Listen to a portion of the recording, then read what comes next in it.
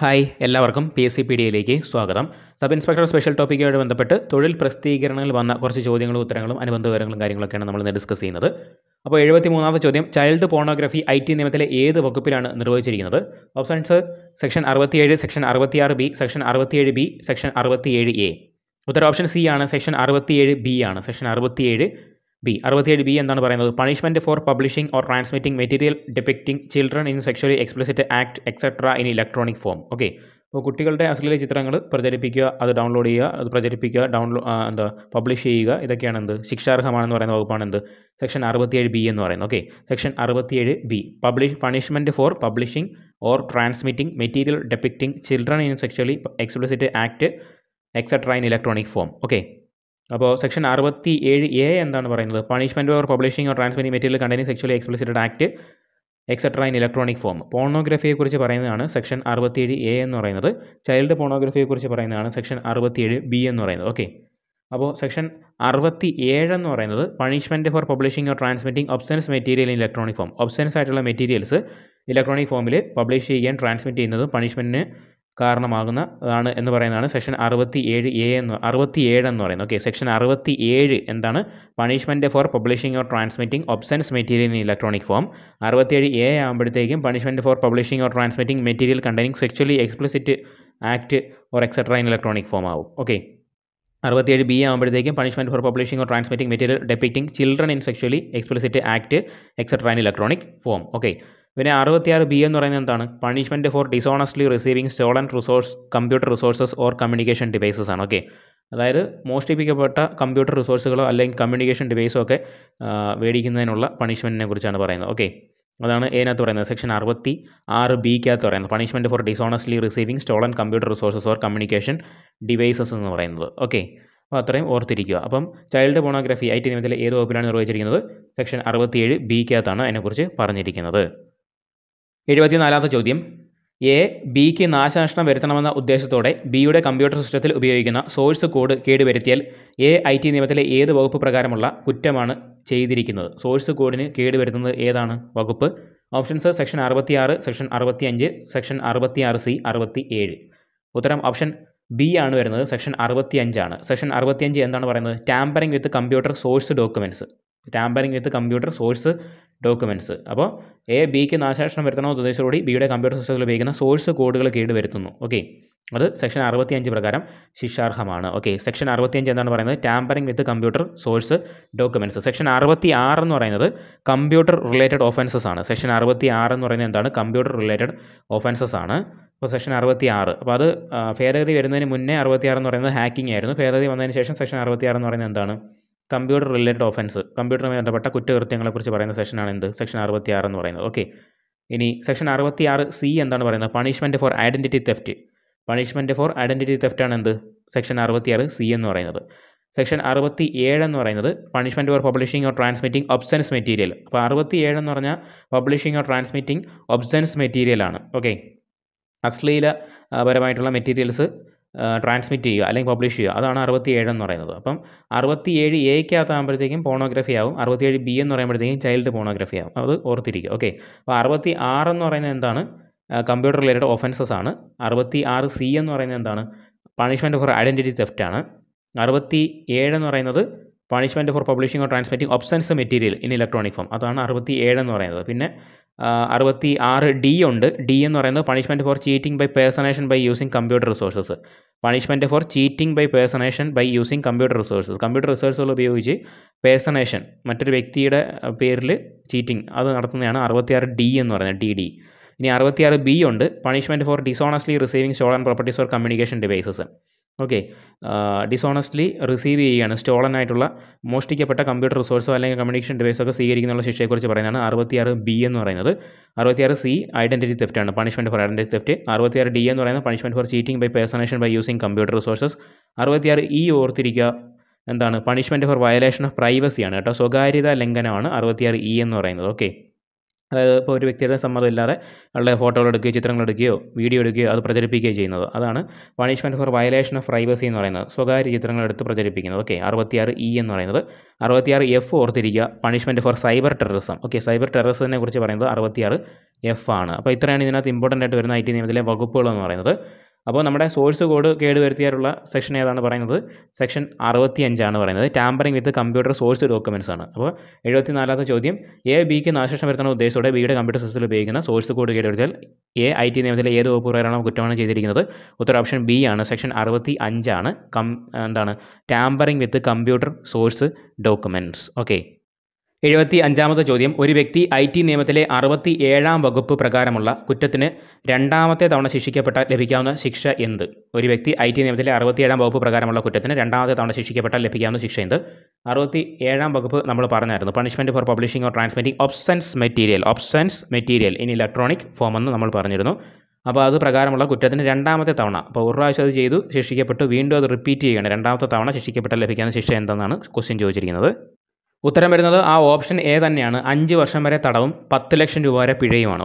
കേട്ടോ? ഓക്കെ അപ്പോൾ ഒരു വ്യക്തി ഐ ടി നിയമത്തിലെ അറുപത്തിയേഴാം വകുപ്പ് പ്രകാരമുള്ള കുറ്റത്തിന് രണ്ടാമത്തെ തവണ ശിക്ഷിക്കപ്പെട്ടാൽ അഞ്ച് വർഷം വരെ തടവും പത്ത് ലക്ഷം രൂപ വരെ പിഴയുമാണ്. ഓക്കെ അപ്പോൾ ഒന്നാമത് ആദ്യം ചെയ്യുകയാണെങ്കിൽ കിട്ടുന്ന ശിക്ഷ എന്താണെന്ന് അറിയാവോ മൂന്ന് വർഷം വരെ തടവും അഞ്ച് ലക്ഷം രൂപ പിഴയുമാണ്. ഓക്കെ അപ്പോൾ അറുപത്തിയേഴാം വകുപ്പ് പ്രകാരമുള്ള ഒരു കുറ്റകൃത്യം ചെയ്താൽ ആദ്യത്തെ തവണയാണെന്നുണ്ടെങ്കിൽ മൂന്ന് വർഷം വരെ തടവും അഞ്ച് ലക്ഷം രൂപ പിഴയും. രണ്ടാമത്തെ തവണയാണ് ചെയ്യുന്നതെന്നുള്ളതാണ് നമ്മുടെ ചോദ്യം. അതിന്റെ ഉത്തരവ് എന്ന് പറഞ്ഞാൽ അഞ്ച് വർഷം വരെ തടവും പത്ത് ലക്ഷം രൂപ വരെ പിഴയുമാണ്. ഓക്കെ. എഴുപത്തി ആറാമത്തെ ചോദ്യം. താഴെ തന്നിരിക്കുന്നതിൽ ശരി ഏത്? പ്രസ്താവനകളാണ്. ഒന്ന് ഐ ടി നിയമത്തിലെ നാൽപ്പത്തിമൂന്ന് എ വകുപ്പ് ഡേറ്റാ സംരക്ഷണത്തിൽ വീഴ്ച വരുത്തിയാലുള്ള നഷ്ടപരിഹാരത്തെക്കുറിച്ച് പറയുന്നു. ബി എഴുപത്തിയെട്ടാം വകുപ്പ് പ്രകാരം അന്വേഷണ ഉദ്യോഗസ്ഥൻ സബ് ഇൻസ്പെക്ടർ റാങ്കിലുള്ള ആളായിരിക്കണം. സി ചൈൽഡ് പോണോഗ്രഫിക്ക് ആവർത്തി ശിക്ഷിക്കപ്പെട്ടാൽ ഏഴ് വർഷം വരെ തടവും പത്ത് ലക്ഷം രൂപ വരെ പിഴയും ലഭിക്കുന്നതാണ്.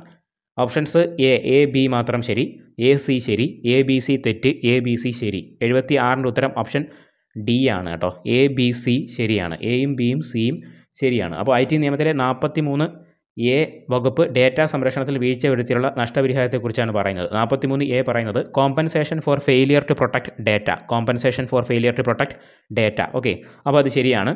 ബി എഴുപത്തിയെട്ടാം വകുപ്പ് പ്രകാരം അന്വേഷണ ഉദ്യോഗസ്ഥൻ സബ് ഇൻസ്പെക്ടർ റാങ്കിലുള്ള ആളായിരിക്കണം. എഴുപത്തി എട്ടാം വകുപ്പ്. എഴുപത്തെട്ടാം വകുപ്പിനകത്ത് പറയുന്നത് സെക്ഷൻ എഴുപത്തിയെട്ടിനകത്ത് പറയുന്നത് പവർ ടു ഇൻവെസ്റ്റിഗേറ്റ് ഒഫൻസസ് ആണ്.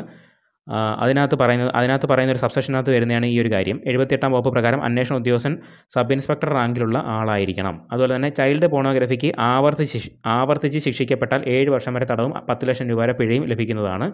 അപ്പോൾ ആദ്യത്തെ തവണയാണ് ചൈൽഡ് പോണോഗ്രഫിയുമായിട്ട് ബന്ധപ്പെട്ട കുറ്റകൃത്യം ചെയ്യുന്നതെന്നുണ്ടെങ്കിൽ അഞ്ച് വർഷം വരെ തടവും പത്ത് ലക്ഷം രൂപ പിഴയാണ് റിപ്പീറ്റ് ചെയ്യുകയാണെങ്കിൽ ഏഴ് വർഷം വരെ തടവും പത്ത് ലക്ഷം രൂപ പിഴയാണെന്നുള്ള കാര്യം ഓർത്തിരിക്കുക. അതുകൊണ്ട് ഉത്തര ഓപ്ഷൻ ഡി ആണ് വരുന്നത്. എയും ബിയും സിയും ശരിയാണ്.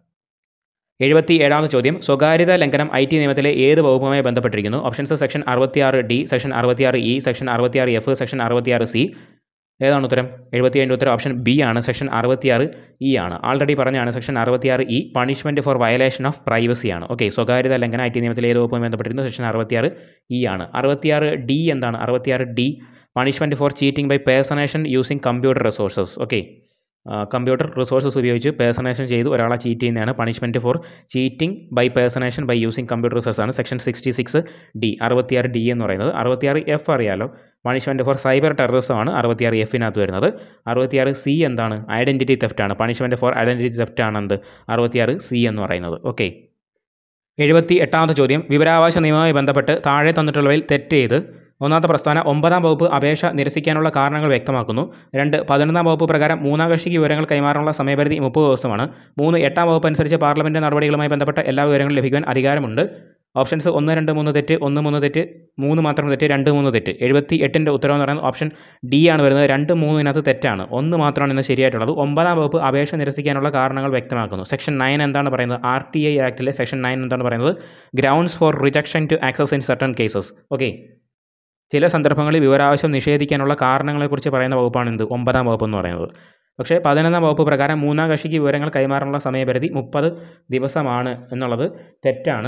അപ്പോൾ സെക്ഷൻ പതിനൊന്നിനകത്ത് പറയുന്നത് തേർഡ് പാർട്ടി ഇൻഫർമേഷനെ കുറിച്ചാണ് പറയുന്നത് സെക്ഷൻ പതിനൊന്ന്. അപ്പോൾ മൂന്നാം കക്ഷിയിൽ നിന്നുള്ള വിവരത്തെക്കുറിച്ച് പറയുന്ന പ്രതിപാദിക്കുന്ന സെക്ഷനാണ് സെക്ഷൻ പതിനൊന്ന്. പക്ഷേ മൂന്നാം കക്ഷിക്ക് വിവരങ്ങൾ കൈമാറാനുള്ള സമയപരിധി എന്ന് പറയുന്നത് അഞ്ച് ദിവസമാണ് മുപ്പത് ദിവസം അല്ല. അതായത് സെക്ഷൻ പതിനൊന്നിനകത്തെ സബ്സെക്ഷൻ വണ്ണിനകത്താണ് ഇത് ഡീറ്റെയിൽ ആയിട്ട് പറയുന്നത്.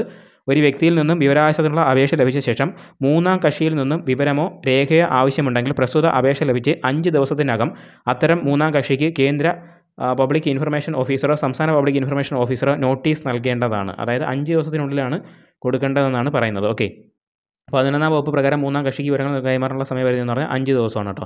അപ്പോൾ അതുകൊണ്ട് രണ്ടാമത്തെ പ്രസ്ഥാനം തെറ്റാണ്. മൂന്നാമത്തെ പ്രസ്ഥാനം എട്ടാം വകുപ്പ് അനുസരിച്ച് പാർലമെന്റ് നടപടികളുമായി ബന്ധപ്പെട്ട എല്ലാ വിവരങ്ങളും ലഭിക്കാൻ അധികാരമുണ്ട്. തെറ്റാണ്. എല്ലാ വിവരങ്ങളും ലഭിക്കാനുള്ള അധികാരമില്ല. ഓക്കെ. സെക്ഷൻ എട്ടിനകത്ത് പറയുന്നത് exemption from disclosure of information ആണ്. ചില വിവരങ്ങൾ നൽകാതിരിക്കാനുള്ള സാഹചര്യങ്ങളെക്കുറിച്ചാണ് സെക്ഷൻ എട്ടിനകത്ത് പറയുന്നത്. അപ്പോൾ വകുപ്പ് അനുസരിച്ച് പാർലമെന്റിന്റെ നടപടികളുമായി ബന്ധപ്പെട്ട എല്ലാ വിവരങ്ങളും ലഭിക്കാൻ അധികാരമില്ല കേട്ടോ. പാർലമെന്റിന്റെയോ സംസ്ഥാന നിയമസഭയുടെയോ വിശേഷ അവകാശത്തിന്റെ ഒരു ലംഘനമായി തീർന്നേക്കാവുന്ന വിവരത്തിന്റെ വെളിപ്പെടുത്തലുകൾ ഇതിൽ നിന്ന് ഒഴിവാക്കിയിട്ടുണ്ട്. ഓക്കെ. അപ്പോൾ അതായത് ആർ ടി എൽ നിന്നിട്ട് എന്തൊഴിവാക്കിയിട്ടുണ്ട്? പാർലമെന്റിലെ സംസ്ഥാന നിയമസഭയുടെ വിശേഷ അവകാശത്തിന്റെ ഒരു ലംഘനമായി തീർന്നേക്കാവുന്ന വിവരത്തിന്റെ വെളിപ്പെടുത്തലുകൾ ഒഴിവാക്കിയിട്ടുണ്ട്. അപ്പോൾ എല്ലാ വിവരങ്ങളും ലഭിക്കാൻ അധികാരമുണ്ടെന്ന് പറയുന്ന പ്ര- പ്രസ്താവന തെറ്റാണ്. അപ്പോൾ രണ്ട് മൂന്നും പ്രസ്താവനകൾ തെറ്റാണ്.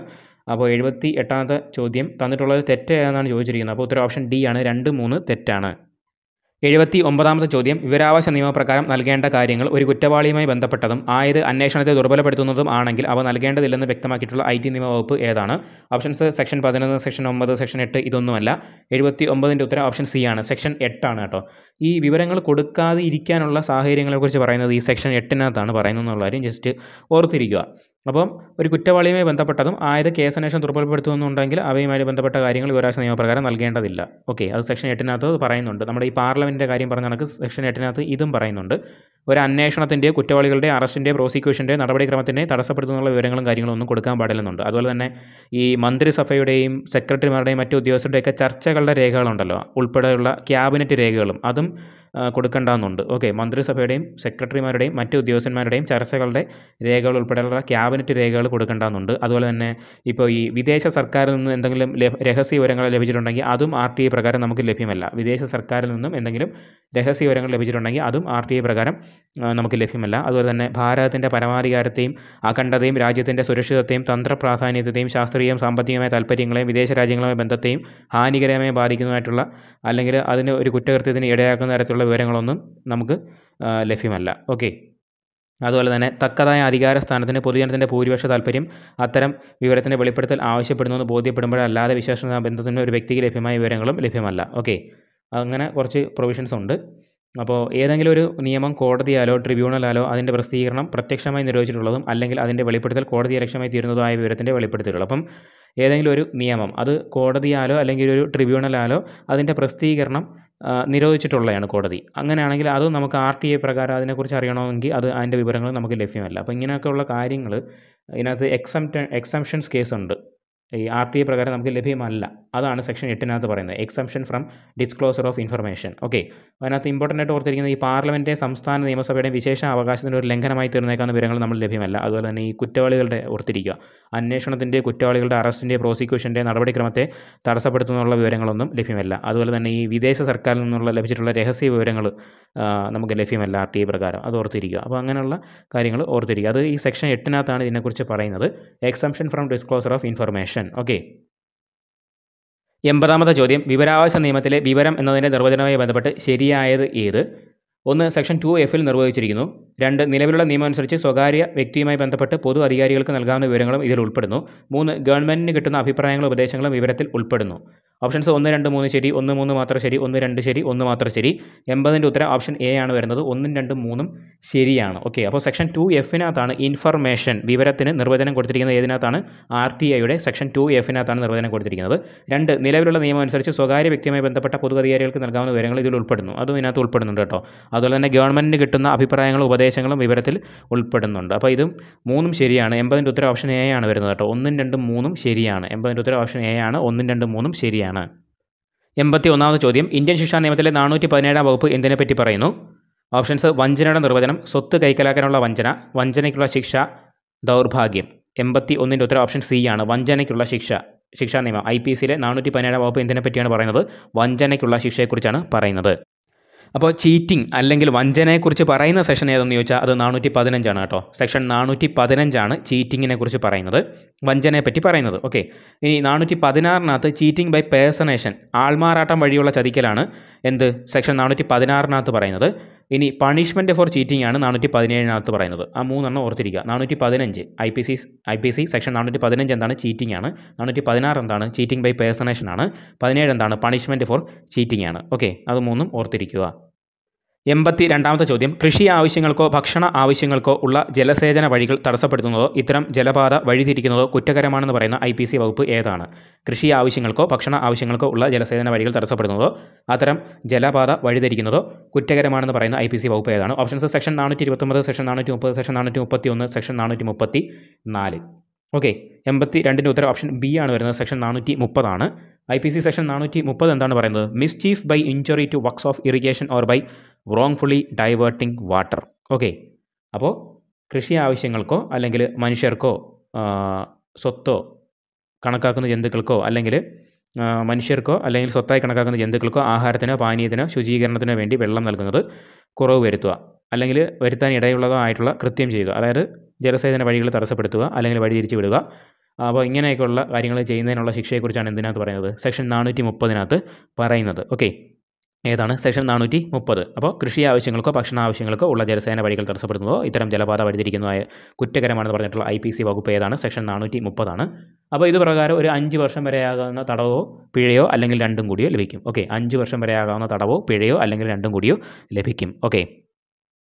അപ്പോൾ ആ ഓപ്ഷൻസിനകത്തുള്ള സെക്ഷൻ നാനൂറ്റി ഇരുപത്തി ഒമ്പത് എന്താണ്? നാനൂറ്റി ഇരുപത്തി ഒമ്പത് mischief by killing or maiming cattle etcetera of any value or any animal of the value of fifty rupees okay അപ്പോൾ ഏതെങ്കിലും കന്നുകാലികളെയോ അതായത് അല്ലെങ്കിൽ ആന ഒട്ടകം കുതിര കഴുത പോത്ത് കാള പശു ഇപ്പോൾ ഇങ്ങനെയുള്ള ജീവികളുണ്ടല്ലോ കന്നുകാലികൾ. അപ്പോൾ അല്ലെങ്കിൽ അമ്പത് രൂപയ്ക്കോ അതിന് മുകളിലോ വിലയുള്ള ഏതെങ്കിലും ജന്തുവിനെയോ കൊല്ലുകയോ വിഷം കൊടുക്കുകയോ അംഗഭംഗപ്പെടുത്തുകയോ ഉപയോഗശൂന്യമാക്കുകയോ ചെയ്യുക വഴി ദ്രോഹം ചെയ്യുന്ന ഏതൊരാളും സെക്ഷൻ നാനൂറ്റി ഇരുപത്തി ഒമ്പത് പ്രകാരം ശിക്ഷാർഹനാണ്. അപ്പോൾ അതിന് കിട്ടുന്ന ശിക്ഷ എന്ന് പറഞ്ഞാൽ അഞ്ച് വർഷം വരെയാകുന്ന തടവോ പിഴയോ അല്ലെങ്കിൽ രണ്ടും കൂടിയോ ആണ്. അപ്പം നാനൂറ്റി മുപ്പതിന് കിട്ടുന്ന ശിക്ഷയും നാനൂറ്റി ഇരുപത്തി ഒമ്പതിന് കിട്ടുന്ന ശിക്ഷയും സെയിം ആണ് ഓർത്തിരിക്കുക. അഞ്ച് വർഷം വരെയാകുന്ന തടവോ പിഴയോ അല്ലെങ്കിൽ രണ്ടും കൂടിയോ. ഇനി സെക്ഷൻ നാനൂറ്റി മുപ്പത്തി ഒന്ന് എന്താണ്? Mischief by injury to public road bridge river or channel okay ഏതെങ്കിലും പൊതു റോഡോ പാലമോ നദിയോ ചാലോ സഞ്ചാരയോഗ്യമല്ലാതാക്കുകയോ സുരക്ഷിതത്തിൽ കുറവുള്ളതാക്കി തീർക്കുകയോ ചെയ്യുക വഴി ദ്രോഹം ചെയ്യുന്ന ഏതൊരാളും സെക്ഷൻ നാനൂറ്റി മുപ്പത്തി ഒന്ന് പ്രകാരം ശിക്ഷാർഹനാണ്. ഓക്കെ അപ്പോൾ mistake by injury to public road bridge river or ചാനലാണ് സെക്ഷൻ നാനൂറ്റി മുപ്പത്തി ഒന്ന് എന്ന് പറയുന്നത്. ഏതെങ്കിലും ഒരു പൊതു റോഡോ പാലമോ നദിയോ ചാലോ സഞ്ചാരയോഗ്യമല്ലാതാക്കുകയോ സുരക്ഷിതത്തിൽ കുറവുള്ളതാക്കി മാറ്റുകയോ ചെയ്യുകയാണ്. എങ്കിൽ ഈ ഒരു വകുപ്പ് സെക്ഷൻ നാനൂറ്റി മുപ്പത്തി ഒന്ന് പ്രകാരം ശിക്ഷാർഹനാണ്. ഓക്കെ അഞ്ച് വർഷം വരെയാകുന്ന തടവോ പിഴയോ രണ്ടും കൂടിയാണ് ഇതിന് ശിക്ഷ. അപ്പം നാനൂറ്റി ഇരുപത്തൊമ്പത് നാനൂറ്റി മുപ്പത് നാനൂറ്റി മുപ്പത്തി ഒന്നിന്റെ ശിക്ഷ എന്ത് തന്നെയാണ്? അഞ്ച് വർഷം വരെയാകാവുന്ന തടവോ പിഴയോ അല്ലെങ്കിൽ രണ്ടും കൂടിയോ ആണ്. ഓക്കെ ഇനി നാനൂറ്റി മുപ്പത്തി നാല് വരുന്നതെന്ന് പറഞ്ഞാൽ mischiefing by destroying or moving etcetera a landmark fixed by public authority ഒരു പബ്ലിക് സെർവന്റെ അധികാരപ്രകാരം ഉറപ്പിക്കപ്പെട്ട ഭൂമി ചിഹ്നം നശിപ്പിക്കുകയോ അതിന്റെ സ്ഥാനം മാറ്റുകയോ ചെയ്യുക വഴി ആ ചിഹ്നത്തിന്റെ പ്രയോജനം കുറയ്ക്കുക എന്ന ദ്രോഹം ചെയ്യുന്ന ഏതൊരാൾ ഈ വകുപ്പ് പ്രകാരം ശിക്ഷ ശിക്ഷാർഹപ്പെടുന്നതാണ്. ഓക്കെ അപ്പോൾ mischief by destroying or moving etcetera a landmark fixed by public authority അതായത് ഈ സർവേ കല്ലൊക്കെ ഊരിയെടുത്ത് കളഞ്ഞിട്ട് അതിർത്തി പ്രശ്നങ്ങൾ ഉണ്ടാക്കുന്ന ആൾക്കാരില്ലയോ? അവരുടെ കാര്യമാണ് പറയുന്നത്. സെക്ഷൻ നാനൂറ്റി മുപ്പത്തി നാല് mischief by destroying or moving etcetera a landmark fixed by public authority ഒരു പബ്ലിക് സർവന്റിന്റെ അധികാരപ്രകാരം ഉറപ്പിക്കപ്പെട്ട ഭൂമി ചിഹ്നം നശിപ്പിക്കുകയോ ഈ സർവേ കല്ലോ അങ്ങനെയുള്ള എന്തെങ്കിലും സാധനങ്ങൾ അതിർ അതിർത്തി കല്ലുകളില്ലേ അത് എടുത്ത് കളഞ്ഞിട്ട് അതിരിന് തർക്കം ഉണ്ടാക്കുന്ന ആൾക്കാരുണ്ടല്ലോ. ഭൂമി ചിഹ്നം നശിപ്പിക്കുകയോ അതിന്റെ സ്ഥാനം മാറ്റുകയോ ചെയ്യുക വഴി ആ ചിഹ്നത്തിന്റെ പ്രയോജനം കുറയ്ക്കുക എന്ന ദ്രോഹം ചെയ്യുന്ന ഏതൊരാളും ഏത് വകുപ്പ് പ്രകാരം ശിക്ഷാർഹനാണ്? സെക്ഷൻ നാനൂറ്റി മുപ്പത്തിയാൽ പ്രകാരം ശിക്ഷാർഹനാണ്. അപ്പോൾ ഒരു വർഷം വരെയാകാവുന്ന തടവോ പിഴയോ അല്ലെങ്കിൽ രണ്ടും കൂടിയോ ലഭിക്കുന്നു. ഓക്കെ. ഒരു വർഷം വരെയാകാവുന്ന തടവും പിഴയും രണ്ടും കൂടിയോ കിട്ടും. ഓക്കെ. ഒരു വർഷം വരെ ആകാവുന്ന തടവോ പിഴയോ അല്ലെങ്കിൽ രണ്ടും കൂടി ഓക്കെ. അപ്പോൾ സെക്ഷൻ നാനൂറ്റി ഇരുപത്തൊമ്പത് നാനൂറ്റി മുപ്പത് നാനൂറ്റി മുപ്പത്തി ഒന്നിനാണെങ്കിൽ അഞ്ച് വർഷം വരെ ആകാവുന്ന തടവും പിഴയോ ആണ്. സെക്ഷൻ നാനൂറ്റി മുപ്പത്തി നാലിനാണെങ്കിൽ ഒരു വർഷം വരെ ആകാവുന്ന തടവും പിഴയും അല്ലെങ്കിൽ രണ്ടും കൂടി കിട്ടും. ഓക്കെ. അപ്പോൾ അത് ക്ലിയർ ആയെന്ന് കരുതുന്നു. എൺപത്തി മൂന്നാമത്തെ ചോദ്യം. പി. കപ്പിത്താന്മാർക്ക് ദിശയറിയുന്നതിനായി സ്ഥാപിച്ച ഒരു ലൈറ്റ് ഹൗസിലെ ബൾബ് നാശം വരുത്തണമെന്ന ഉദ്ദേശത്തോടെ നശിപ്പിച്ചാൽ പി. ഇന്ത്യൻ ശിക്ഷാ നിയമത്തിലെ ഏത് വകുപ്പ് പ്രകാരമുള്ള കുറ്റമാണ് ചെയ്തിരിക്കുന്നത്? ഓപ്ഷൻസ് സെക്ഷൻ നാനൂറ്റി മുപ്പത്തി മൂന്ന് സെക്ഷൻ നാനൂറ്റി മുപ്പത് സെക്ഷൻ നാനൂറ്റി മുപ്പത്തി ആറ് സെക്ഷൻ നാനൂറ്റി മുപ്പത്തൊമ്പത് എൺപത്തി മൂന്നിന്റെ ഉത്തരം ഓപ്ഷൻ എ ആണ് വരുന്നത്. സെക്ഷൻ നാനൂറ്റി മുപ്പത്തി മൂന്നാണ് സെക്ഷൻ നാനൂറ്റി മുപ്പത്തി മൂന്ന് എന്താണ് പറയുന്നത്? Mischief by destroying moving or rendering less useful a lighthouse or sea mark ഒരു ലൈറ്റ് ഹൗസ് അല്ലെങ്കിൽ സീ മാർക്കിന് എന്താ? നാശം വരുത്തണം. ഓക്കെ. അപ്പോൾ ഏതെങ്കിലും ഒരു ദീപസ്തംഭമോ സമുദ്രീയ ചിഹ്നമായി ഉപയോഗിക്കുന്ന മറ്റു ദീപമോ നശിപ്പിക്കുകയോ അതിന്റെ സ്ഥാനം മാറ്റുകയോ ചെയ്യുക വഴി നാവികരുടെ മാർഗദർശനം എന്ന പ്രയോജനം കുറയ്ക്കുക എന്ന ദ്രോഹം ചെയ്യുന്ന ഏതൊരാളും ഐ പി സി സെക്ഷൻ നാനൂറ്റി മുപ്പത്തി മൂന്ന് പ്രകാരം ശിക്ഷാർഹനാണ്. അപ്പോൾ ഏഴ് വർഷം വരെയാകാവുന്ന തടവോ പിഴയോ രണ്ടും കൂടിയാണ് ഇതിന് കിട്ടുന്ന ശിക്ഷ എന്ന് പറയുന്നത്. ഏഴ് വർഷം വരെയാകാവുന്ന തടവോ പിഴയോ അല്ലെങ്കിൽ രണ്ടും കൂടിയാണ് ഏതിന് കിട്ടുന്നത്? സെക്ഷൻ നാനൂറ്റി മുപ്പത്തി മൂന്നിന് കിട്ടുന്നത്. ഓക്കെ. സെക്ഷൻ നാനൂറ്റി മുപ്പത് നമ്മൾ ആൾറെഡി ഡീറ്റെയിൽ ആയിട്ട് പറഞ്ഞതാണ്. കാർഷിക ആവശ്യങ്ങൾക്കുള്ള എന്താണ് ജല ശ്രേണി സ്ഥാനം മാറ്റുകയോ അല്ലെങ്കിൽ ഇറിഗേഷനായിട്ടുള്ള ചാനൽ വേണ്ടി വെള്ളം കൊണ്ടുവരുന്ന ആ ഒരു വഴി മാറ്റുകയോ വഴിതിരിച്ച് വിടുകയോ വെള്ളം നൽകുന്നത് കുറവ് വരുത്തുകയോ ചെയ്യുന്നതാണ് ഉള്ള കാര്യം നമ്മൾ നാനൂറ്റി മുപ്പത് പറഞ്ഞു. സെക്ഷൻ നാനൂറ്റി മുപ്പത് അതിന്റെ ശിക്ഷ പറഞ്ഞു. അഞ്ച് വർഷം വരെ തടവും പിഴ എന്നുള്ള കാര്യം പറഞ്ഞു. അപ്പോൾ ഇനി സെക്ഷൻ നാനൂറ്റി മുപ്പത്തി ആറാണ് മുപ്പത്തി ആറ് എന്താണ് പറയുന്നത്? Mischief by fire or explosive substance with intent to destroy house okay അപ്പോൾ ഒരു ആരാധനാ സ്ഥലമോ അല്ലെങ്കിൽ ഒരു വീട് അല്ലെങ്കിൽ ഒരു വസ്തു സൂക്ഷിപ്പ് സ്ഥലമായി ഉപയോഗിക്കുന്ന ഏതെങ്കിലും കെട്ടിടമോ തീയാലോ സ്ഫോടക പദാർത്ഥത്താലോ നശിപ്പിക്കണമെന്ന ഉദ്ദേശത്തോടുകൂടി ദ്രോഹം ചെയ്യുന്ന ഏതൊരാളും സെക്ഷൻ നാനൂറ്റി മുപ്പത്തി ആറ് പ്രകാരം ശിക്ഷാർഹനാണ്. ഓക്കെ ഇപ്പോൾ ഒരു ആ ഒരു ആരാധനാലയം ഒരു പള്ളി അമ്പലം അങ്ങനെ അല്ലെങ്കിൽ ഒരു വീട് അപ്പോൾ ഏതെങ്കിലും ഒരു വസ്തുവിൽ സ്ഥിതി ചെയ്യുന്ന ഉപയോഗിക്കുന്ന ഏതെങ്കിലും ഒരു കെട്ടിടം. അപ്പോൾ അങ്ങനെയുള്ള വസ്തുക്കൾ തീയാൽ അതിന് തീ വയ്ക്കുകയാണ് അല്ലെങ്കിൽ സ്ഫോടക പദാർത്ഥങ്ങൾ ഉപയോഗിച്ച് അത് കത്തിക്കുകയാണ് അങ്ങനെ നശിപ്പിക്കുന്ന ഉദ്ദേശത്തോടുകൂടിയുള്ളതാണ് കുറ്റകൃത്യം. അങ്ങനെ നശിപ്പിക്കണമെന്നുള്ള ഉദ്ദേശത്തോടുകൂടി ചെയ്യുന്ന കുറ്റകൃത്യമാണെന്ത്? സെക്ഷൻ നാനൂറ്റി മുപ്പത്തി ആറിനകത്ത് പറയുന്നത് mischief by fire or explosive substances with intent to destroy house etcetera അപ്പോൾ ഇതിന് ജീവപര്യന്തം തടവ് അല്ലെങ്കിൽ പത്ത് വർഷം വരെ തടവും കൂടാതെ പിഴയുമാണ് കിട്ടുന്നത് കേട്ടോ. ജീവപര്യന്തം വരെ തടവും പത്ത് ലക്ഷം പല പത്ത് വർഷം വരെ. ജീവപര്യന്തം വരെ തടവും അല്ലെങ്കിൽ പത്ത് വർഷം വരെ തടവ്. പിന്നെ കൂടാതെ പിഴയും കിട്ടും. ഏതിന്? സെക്ഷൻ നാനൂറ്റി മുപ്പത്തി ആറ് എന്ന് പറയുന്നത് okay. Mischief by fire or explosive substances with intent to destroy house ഒരു ആരാധനാലയം അല്ലെങ്കിൽ ഒരു വീട് അല്ലെങ്കിൽ ഒരു വസ്തുവിൽ വസ്തുവിന്റെ സൂക്ഷിപ്പ് സ്ഥലമായിട്ട് ഉപയോഗിക്കുന്ന ഏതെങ്കിലും ഒരു കെട്ടിടം. അത് ഒരു തീയാലോ അല്ലെങ്കിൽ സ്ഫോടക വസ്തുക്കളാലോ നശിപ്പിക്കുന്ന ഉദ്ദേശത്തോടുകൂടി ചെയ്യുന്ന ഒരു കുറ്റകൃത്യം. അതാണ് സെക്ഷൻ നാനൂറ്റി മുപ്പത്തി ആറിനകത്ത് പറയുന്നത്. സെക്ഷൻ നാനൂറ്റി മുപ്പത്തി ഒമ്പത് എന്ന് പറയുന്നത് punishment for intentionally running vessel aground or ashore with intent to commit theft മോഷണമോ മറ്റോ നടത്തണമെന്നുള്ള ഉദ്ദേശത്തോടു കൂടി ജലയാനം മനഃപൂർവം മണ്ണിലോ കരയ്ക്കോ കയറ്റുന്ന ഏതൊരാളും ഈ വകുപ്പ് പ്രകാരം ശിക്ഷിക്കപ്പെടുന്നതാണ്. ഓക്കെ മോഷണമോ മറ്റോ നടത്തണമെന്നുള്ള ഉദ്ദേശത്തോടു കൂടി ജലയാനം റണ്ണിംഗ് വെസൽ മനഃപൂർവം മണ്ണിലോ കരയ്ക്കോ കയറ്റുന്ന ഏതൊരാളും ഈ വകുപ്പ് പ്രകാരം ശിക്ഷിക്കപ്പെടുന്നതാണ്. ജലയാനങ്ങളുണ്ടല്ലോ. അത് മനഃപൂർവം മണ്ണിലോ കരയ്ക്കോ കയറ്റുവാണ് മോഷണം നടത്തണമെന്നുള്ള ഉദ്ദേശത്തോടുകൂടി അപ്പോൾ അത് അങ്ങനെ ചെയ്യുന്നവർ ഏതൊരാൾ ഏത് വകുപ്പ് പ്രകാരം ശിക്ഷിക്കപ്പെടും? സെക്ഷൻ നാനൂറ്റി മുപ്പത്തി ഒമ്പത് പ്രകാരം ശിക്ഷിക്കപ്പെടും. അപ്പോൾ പത്ത് വർഷം വരെ ആകാവുന്ന തടവും പിഴയാണ് ഇതിന് കിട്ടുന്ന ശിക്ഷ എന്ന് പറയുന്നത് പത്ത് വർഷം വരെ ആകാവുന്ന തടവും പിഴയാണ് ഇതിന് കിട്ടുന്ന ശിക്ഷ എന്ന് പറയുന്നത്. ഓക്കെ. അപ്പോൾ കപ്പിത്താൻമാർക്ക് ദിശ അറിയുന്നതിനെ സ്ഥാപിച്ച ഒരു ലൈറ്റ് ഹൗസിലെ ബൾബ് നാശം വരുത്തുന്ന ഉദ്ദേശത്തോടെ നശിപ്പിച്ചാൽ ഇന്ത്യൻ ശിക്ഷാനത്തിലെ ഏത് വകുപ്പ് പ്രകാരമുള്ള കുറ്റകൃത്യമാണ് ചെയ്തിരിക്കുന്നത്? എൺപത്തി മൂന്നിന്റെ ഉത്തരം ഓപ്ഷൻ എ ആണ് വരുന്നത്. സെക്ഷൻ നാനൂറ്റി മുപ്പത്തി മൂന്ന് ഓക്കെ. എൺപത്തി നാലാമത്തെ ചോദ്യം. താഴെ കൊടുത്തിട്ടുള്ളതിൽ തെറ്റേത്. താഴെ കൊടുത്തിട്ടുള്ളതിൽ തെറ്റേത്. എ ഐ പി സി മുന്നൂറ്റി എൺപതാം വകുപ്പ് അനുസരിച്ചുള്ള ശിക്ഷ ഏഴ് വർഷം വരെ തടവും പിഴയുമാണ്. ശരിയാണത്. ഐ പി സി മുന്നൂറ്റി എൺപതാം വകുപ്പ് എന്താണ് പറയുന്നത്? Theft in dwelling house etcetera എന്നാണ്? ഓക്കെ ഐ പി സി മുന്നൂറ്റി എൺപതാം വകുപ്പ് എന്താണ്? Theft in dwelling house etcetera വാസസ്ഥലത്തോ മറ്റോ വെച്ചുള്ള മോഷണത്തെക്കുറിച്ച് പരാമർശിക്കുന്ന വകുപ്പാണ് എന്ത് സെക്ഷൻ മുന്നൂറ്റി എൺപത് എന്ന് പറയുന്നത്. ഓക്കെ വാസസ്ഥലത്തോ മറ്റോ വെച്ചുള്ള മോഷണ ശ്രമത്തെക്കുറിച്ച് പരാമർശിക്കുന്ന വകുപ്പാണ് എന്ത് സെക്ഷൻ മുന്നൂറ്റി അമ്പത് അപ്പോൾ അതിന് കിട്ടുന്ന ഒരു ശിക്ഷ എന്ന് പറഞ്ഞാൽ ഏഴ് വർഷം വരെയാകാവുന്ന തടവും പിഴയുമാണ്. ഏഴ് വർഷം വരെയാകാവുന്ന തടവും പിഴയുമാണ്. അപ്പോൾ ഒന്നാമത്തെ പ്രസ്താവന ശരിയാണ്. രണ്ട് മുന്നൂറ്റി തൊണ്ണൂറ്റൊമ്പതാം വകുപ്പ് കൊള്ള നടത്താൻ തയ്യാറെടുക്കുന്നത് കുറ്റകരമാണെന്ന് വിശദമാക്കുന്നു. മുന്നൂറ്റി തൊണ്ണൂറ്റൊമ്പതാം വകുപ്പ് കൊള്ള നടത്താൻ തയ്യാറെടുക്കുന്നത് കുറ്റകരമാണെന്ന് വിശദമാക്കുന്നു. ശരിയാണത്. സെക്ഷൻ മുന്നൂറ്റി തൊണ്ണൂറ്റൊമ്പതാം വകുപ്പ് എന്താണ് പറയുന്നത്? Making preparation to commit dacoity making preparation to commit dacoity സംഘ കവർച്ച ഡക്കോയിറ്റി എന്ന് പറഞ്ഞാൽ സംഘ കവർച്ചയാണ് കേട്ടോ. സംഘ കവർച്ച നടത്തുവാൻ ഒരുക്കങ്ങൾ നടത്തുന്നതിനെക്കുറിച്ച് പരാമർശിക്കുന്ന വകുപ്പാണ് സെക്ഷൻ മുന്നൂറ്റി തൊണ്ണൂറ്റൊമ്പത് എന്ന് പറയുന്നത്. അപ്പോൾ ഇതിന് കിട്ടുന്ന ശിക്ഷ എന്ന് പറഞ്ഞാൽ പത്ത് വർഷം വരെ ആകാവുന്ന കഠിന തടവും പിഴയുമാണ്. പത്ത് വർഷം വരെ ആകാവുന്ന കഠിന തടവും പിഴയുമാണ്. സെക്ഷൻ മുന്നൂറ്റി തൊണ്ണൂറ്റൊമ്പത് making preparation to commit dacoity അപ്പോൾ ആ രണ്ടാമത്തെ പ്രസ്താവനയും ശരിയാണ്. മൂന്നാമത്തെ പ്രസ്താവന മുന്നൂറ്റി എഴുപത് എ വകുപ്പ് മനുഷ്യക്കടത്ത് നിർവചിക്കുന്നു. മുന്നൂറ്റി എഴുപത് എ വകുപ്പ് മനുഷ്യക്കടത്ത് നിർവചിക്കുന്നു. മുന്നൂറ്റി എഴുപത് എ വകുപ്പ് എന്താണ് പറയുന്നത്? Exploitation of a trafficked person okay വ്യാപാരം ചെയ്യപ്പെട്ട വ്യക്തിയെ ചൂഷണം ചെയ്യുന്നതിനെക്കുറിച്ച് പ്രതിപാദിക്കുന്ന വകുപ്പാണ് സെക്ഷൻ മുന്നൂറ്റി എഴുപത് എ എന്ന് പറയുന്നത്. പക്ഷേ ഇവിടെ പറഞ്ഞിരിക്കുന്നത് മുന്നൂറ്റി എഴുപത് എ വകുപ്പ് മനുഷ്യക്കടത്ത് നിർവചിക്കുന്നു എന്നാണ്. അത് തെറ്റാണ്. സെക്ഷൻ മുന്നൂറ്റി എഴുപത് എയ്ക്കകത്താണ് എന്ത് പറയുന്നത്? ട്രാഫിക്കിംഗ് ഓഫ് പേഴ്സൺ മനുഷ്യ കട കച്ചവടം അല്ലെങ്കിൽ മനുഷ്യ കുറിച്ച് പറയുന്നത് ഏതാണ്? സെക്ഷൻ മുന്നൂറ്റി എഴുപതാണ് കേട്ടോ. സെക്ഷൻ മുന്നൂറ്റി എഴുപതാണ് മനുഷ്യ കുറിച്ച് പറയുന്നത് സെക്ഷൻ മുന്നൂറ്റി എഴുപതാണ് മുന്നൂറ്റി എഴുപത് എക്കകത്ത് പറയുന്നത് വ്യാപാരം ചെയ്യപ്പെട്ട വ്യക്തിയെ ചൂഷണം ചെയ്യുന്നതിനെക്കുറിച്ചാണ്. എക്സ്പ്ലോയിറ്റേഷൻ ഓഫ് എ ട്രാഫിക്ഡ് പേഴ്സണെ കുറിച്ചാണ് മുന്നൂറ്റി എഴുപത് എയ്ക്കകത്ത് പറയുന്നത്. അപ്പം സി എന്ന് പറയുന്ന ഓപ്ഷൻ തെറ്റാണ്. തെറ്റ് എന്നാണ് നമ്മുടെ ചോദ്യം? അപ്പോൾ സി എന്ന് പറയുന്ന ഓപ്ഷൻ എന്താണ്? തെറ്റാണ്. ഓക്കെ അപ്പോൾ മുന്നൂറ്റി എഴുപത് എ വകുപ്പ് എന്താണ് പറയുന്നത്? എക്സ്പ്ലോയിറ്റേഷൻ ഓഫ് എ ട്രാഫിക്ഡ് ആണ്. അപ്പോൾ അത് അതിൽ തന്നെ ചില സബ് ഡിവിഷൻസ് വരുന്നുണ്ട്. അപ്പോൾ ഒരു മൈനറെ വ്യാപാരം നടത്തിയാണെന്ന് അറിഞ്ഞുകൊണ്ട് പ്രസ്തുത മൈനറെ ഏതെങ്കിലും തരത്തിലുള്ള ലൈംഗിക ചൂഷണ വിധേയമാക്കിയാൽ ഈ വകുപ്പ് പ്രകാരം ശിക്ഷിക്കപ്പെടുന്നതാണ്. അപ്പോൾ എന്ന് പറഞ്ഞാൽ അഞ്ച് വർഷത്തിൽ കുറയാത്തതും ഏഴ് വർഷം വരെ ആകുന്ന തടവും കഠിന തടവും കൂടാതെ പിഴയുമാണ് കേട്ടോ. അതായത് എക്സ്പ്ലോയിറ്റേഷൻ ഓഫ് എ ട്രാഫിക്ഡ് പേഴ്സണെ കുറിച്ചാണ് മുന്നൂറ്റി എഴുപത് എ വകുപ്പിനകത്ത് പറയുന്നത്. അപ്പോൾ അങ്ങനെ ചെയ്യുന്നത് ഒരു മൈനറോടാണ് എന്നുണ്ടെങ്കിൽ ആ ഒരു മൈനറോട് ലൈംഗിക ചൂഷണത്തിന് വിധേയമാക്കുകയാണ് ആ മൈനറിനെ അതായത് കടത്തി കൊണ്ടുവന്ന ഒരു മൈനറിന്റെ അടുത്ത് ലൈംഗിക ചൂഷണം നടത്തുകയാണ്. അങ്ങനെ ഉണ്ടെങ്കിൽ അഞ്ച് വർഷത്തിൽ കുറയാത്തതും ഏഴ് വർഷം വരെയാകുന്ന തടിന തടവും പിഴയും കൂടെ കിട്ടും.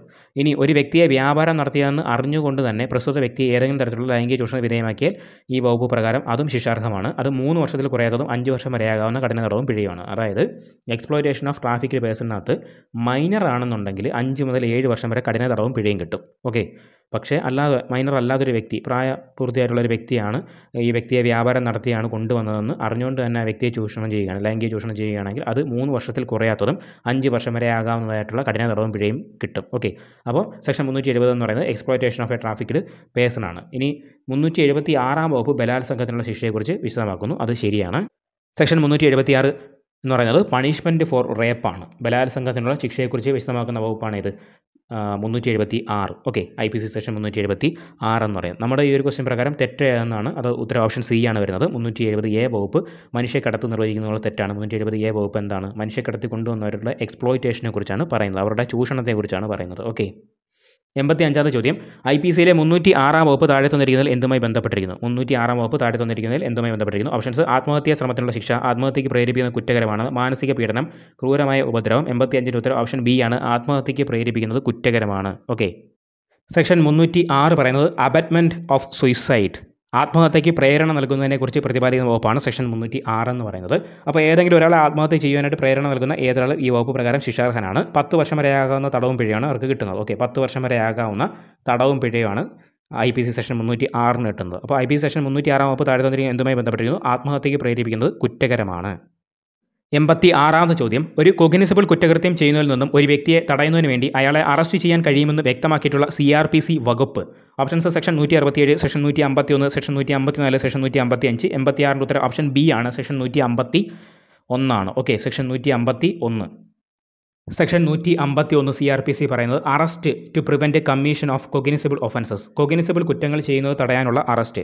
അപ്പോൾ കൊഗ്നിസബിൾ കുറ്റം ചെയ്യാനുള്ള ഒരു പദ്ധതിയെക്കുറിച്ച് അറിവ് ലഭിക്കുന്ന പോലീസ് ഉദ്യോഗസ്ഥനെ ആ കുറ്റം ചെയ്യുന്നത് യാതൊരു വിധത്തിലും തനിക്ക് തടയാൻ കഴിയുകയില്ലെന്ന് തോന്നുന്നുവെങ്കിൽ ആ മജിസ്ട്രേറ്റിന്റെ ഉത്തരവ് കൂടാതെയും വാറണ്ട് കൂടാതെയും അപ്രകാരം പദ്ധതിയുടെ നാളെ അറസ്റ്റ് ചെയ്യാവുന്നതാണ്. ഓക്കെ അപ്പം C R P C section നൂറ്റി അമ്പത്തി ഒന്ന് എന്താണ് പറയുന്നത്? കൊഗ്നിസബിൾ കുറ്റം ചെയ്യാനുള്ള ഒരു പദ്ധതിയെക്കുറിച്ച് അറിവ് ലഭിക്കുന്നു അറിവ് ലഭിക്കുന്നുണ്ട് ഒരു പോലീസ് ഉദ്യോഗസ്ഥന്.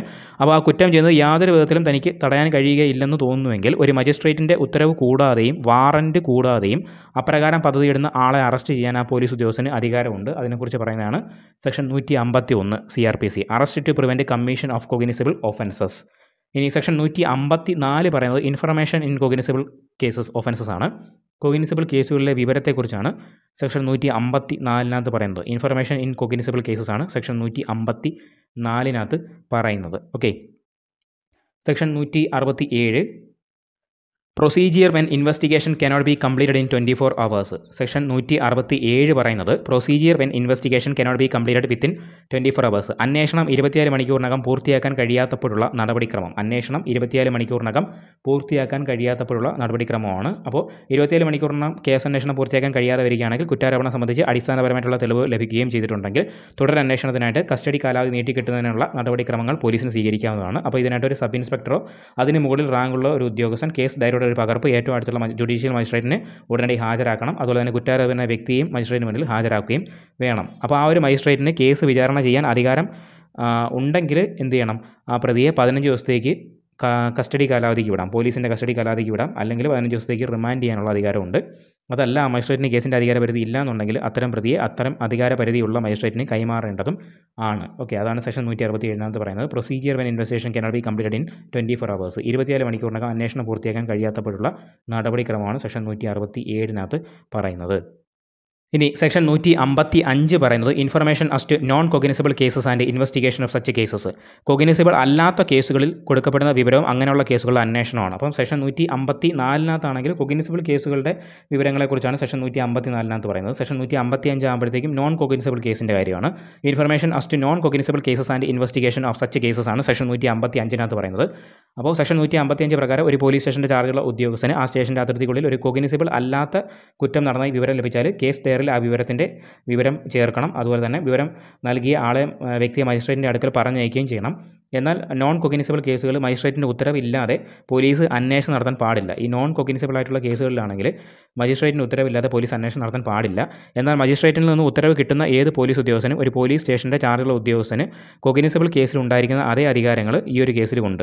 Non cognizable കേസിലുണ്ട്. പക്ഷേ വാറന്റ് കൂടാതെ അറസ്റ്റ് ചെയ്യാൻ പറ്റില്ല. ഓക്കെ. വാറന്റ് കൂടാതെ അറസ്റ്റ് ചെയ്യാൻ പറ്റില്ല. കൊഗ്നിസിബിൾ ആയിട്ടുള്ള കേസിൽ മാത്രമേ വാറന്റ് ഇല്ലാതെ അറസ്റ്റ് ചെയ്യാനായിട്ട് പറ്റുള്ളൂ. ഓക്കെ?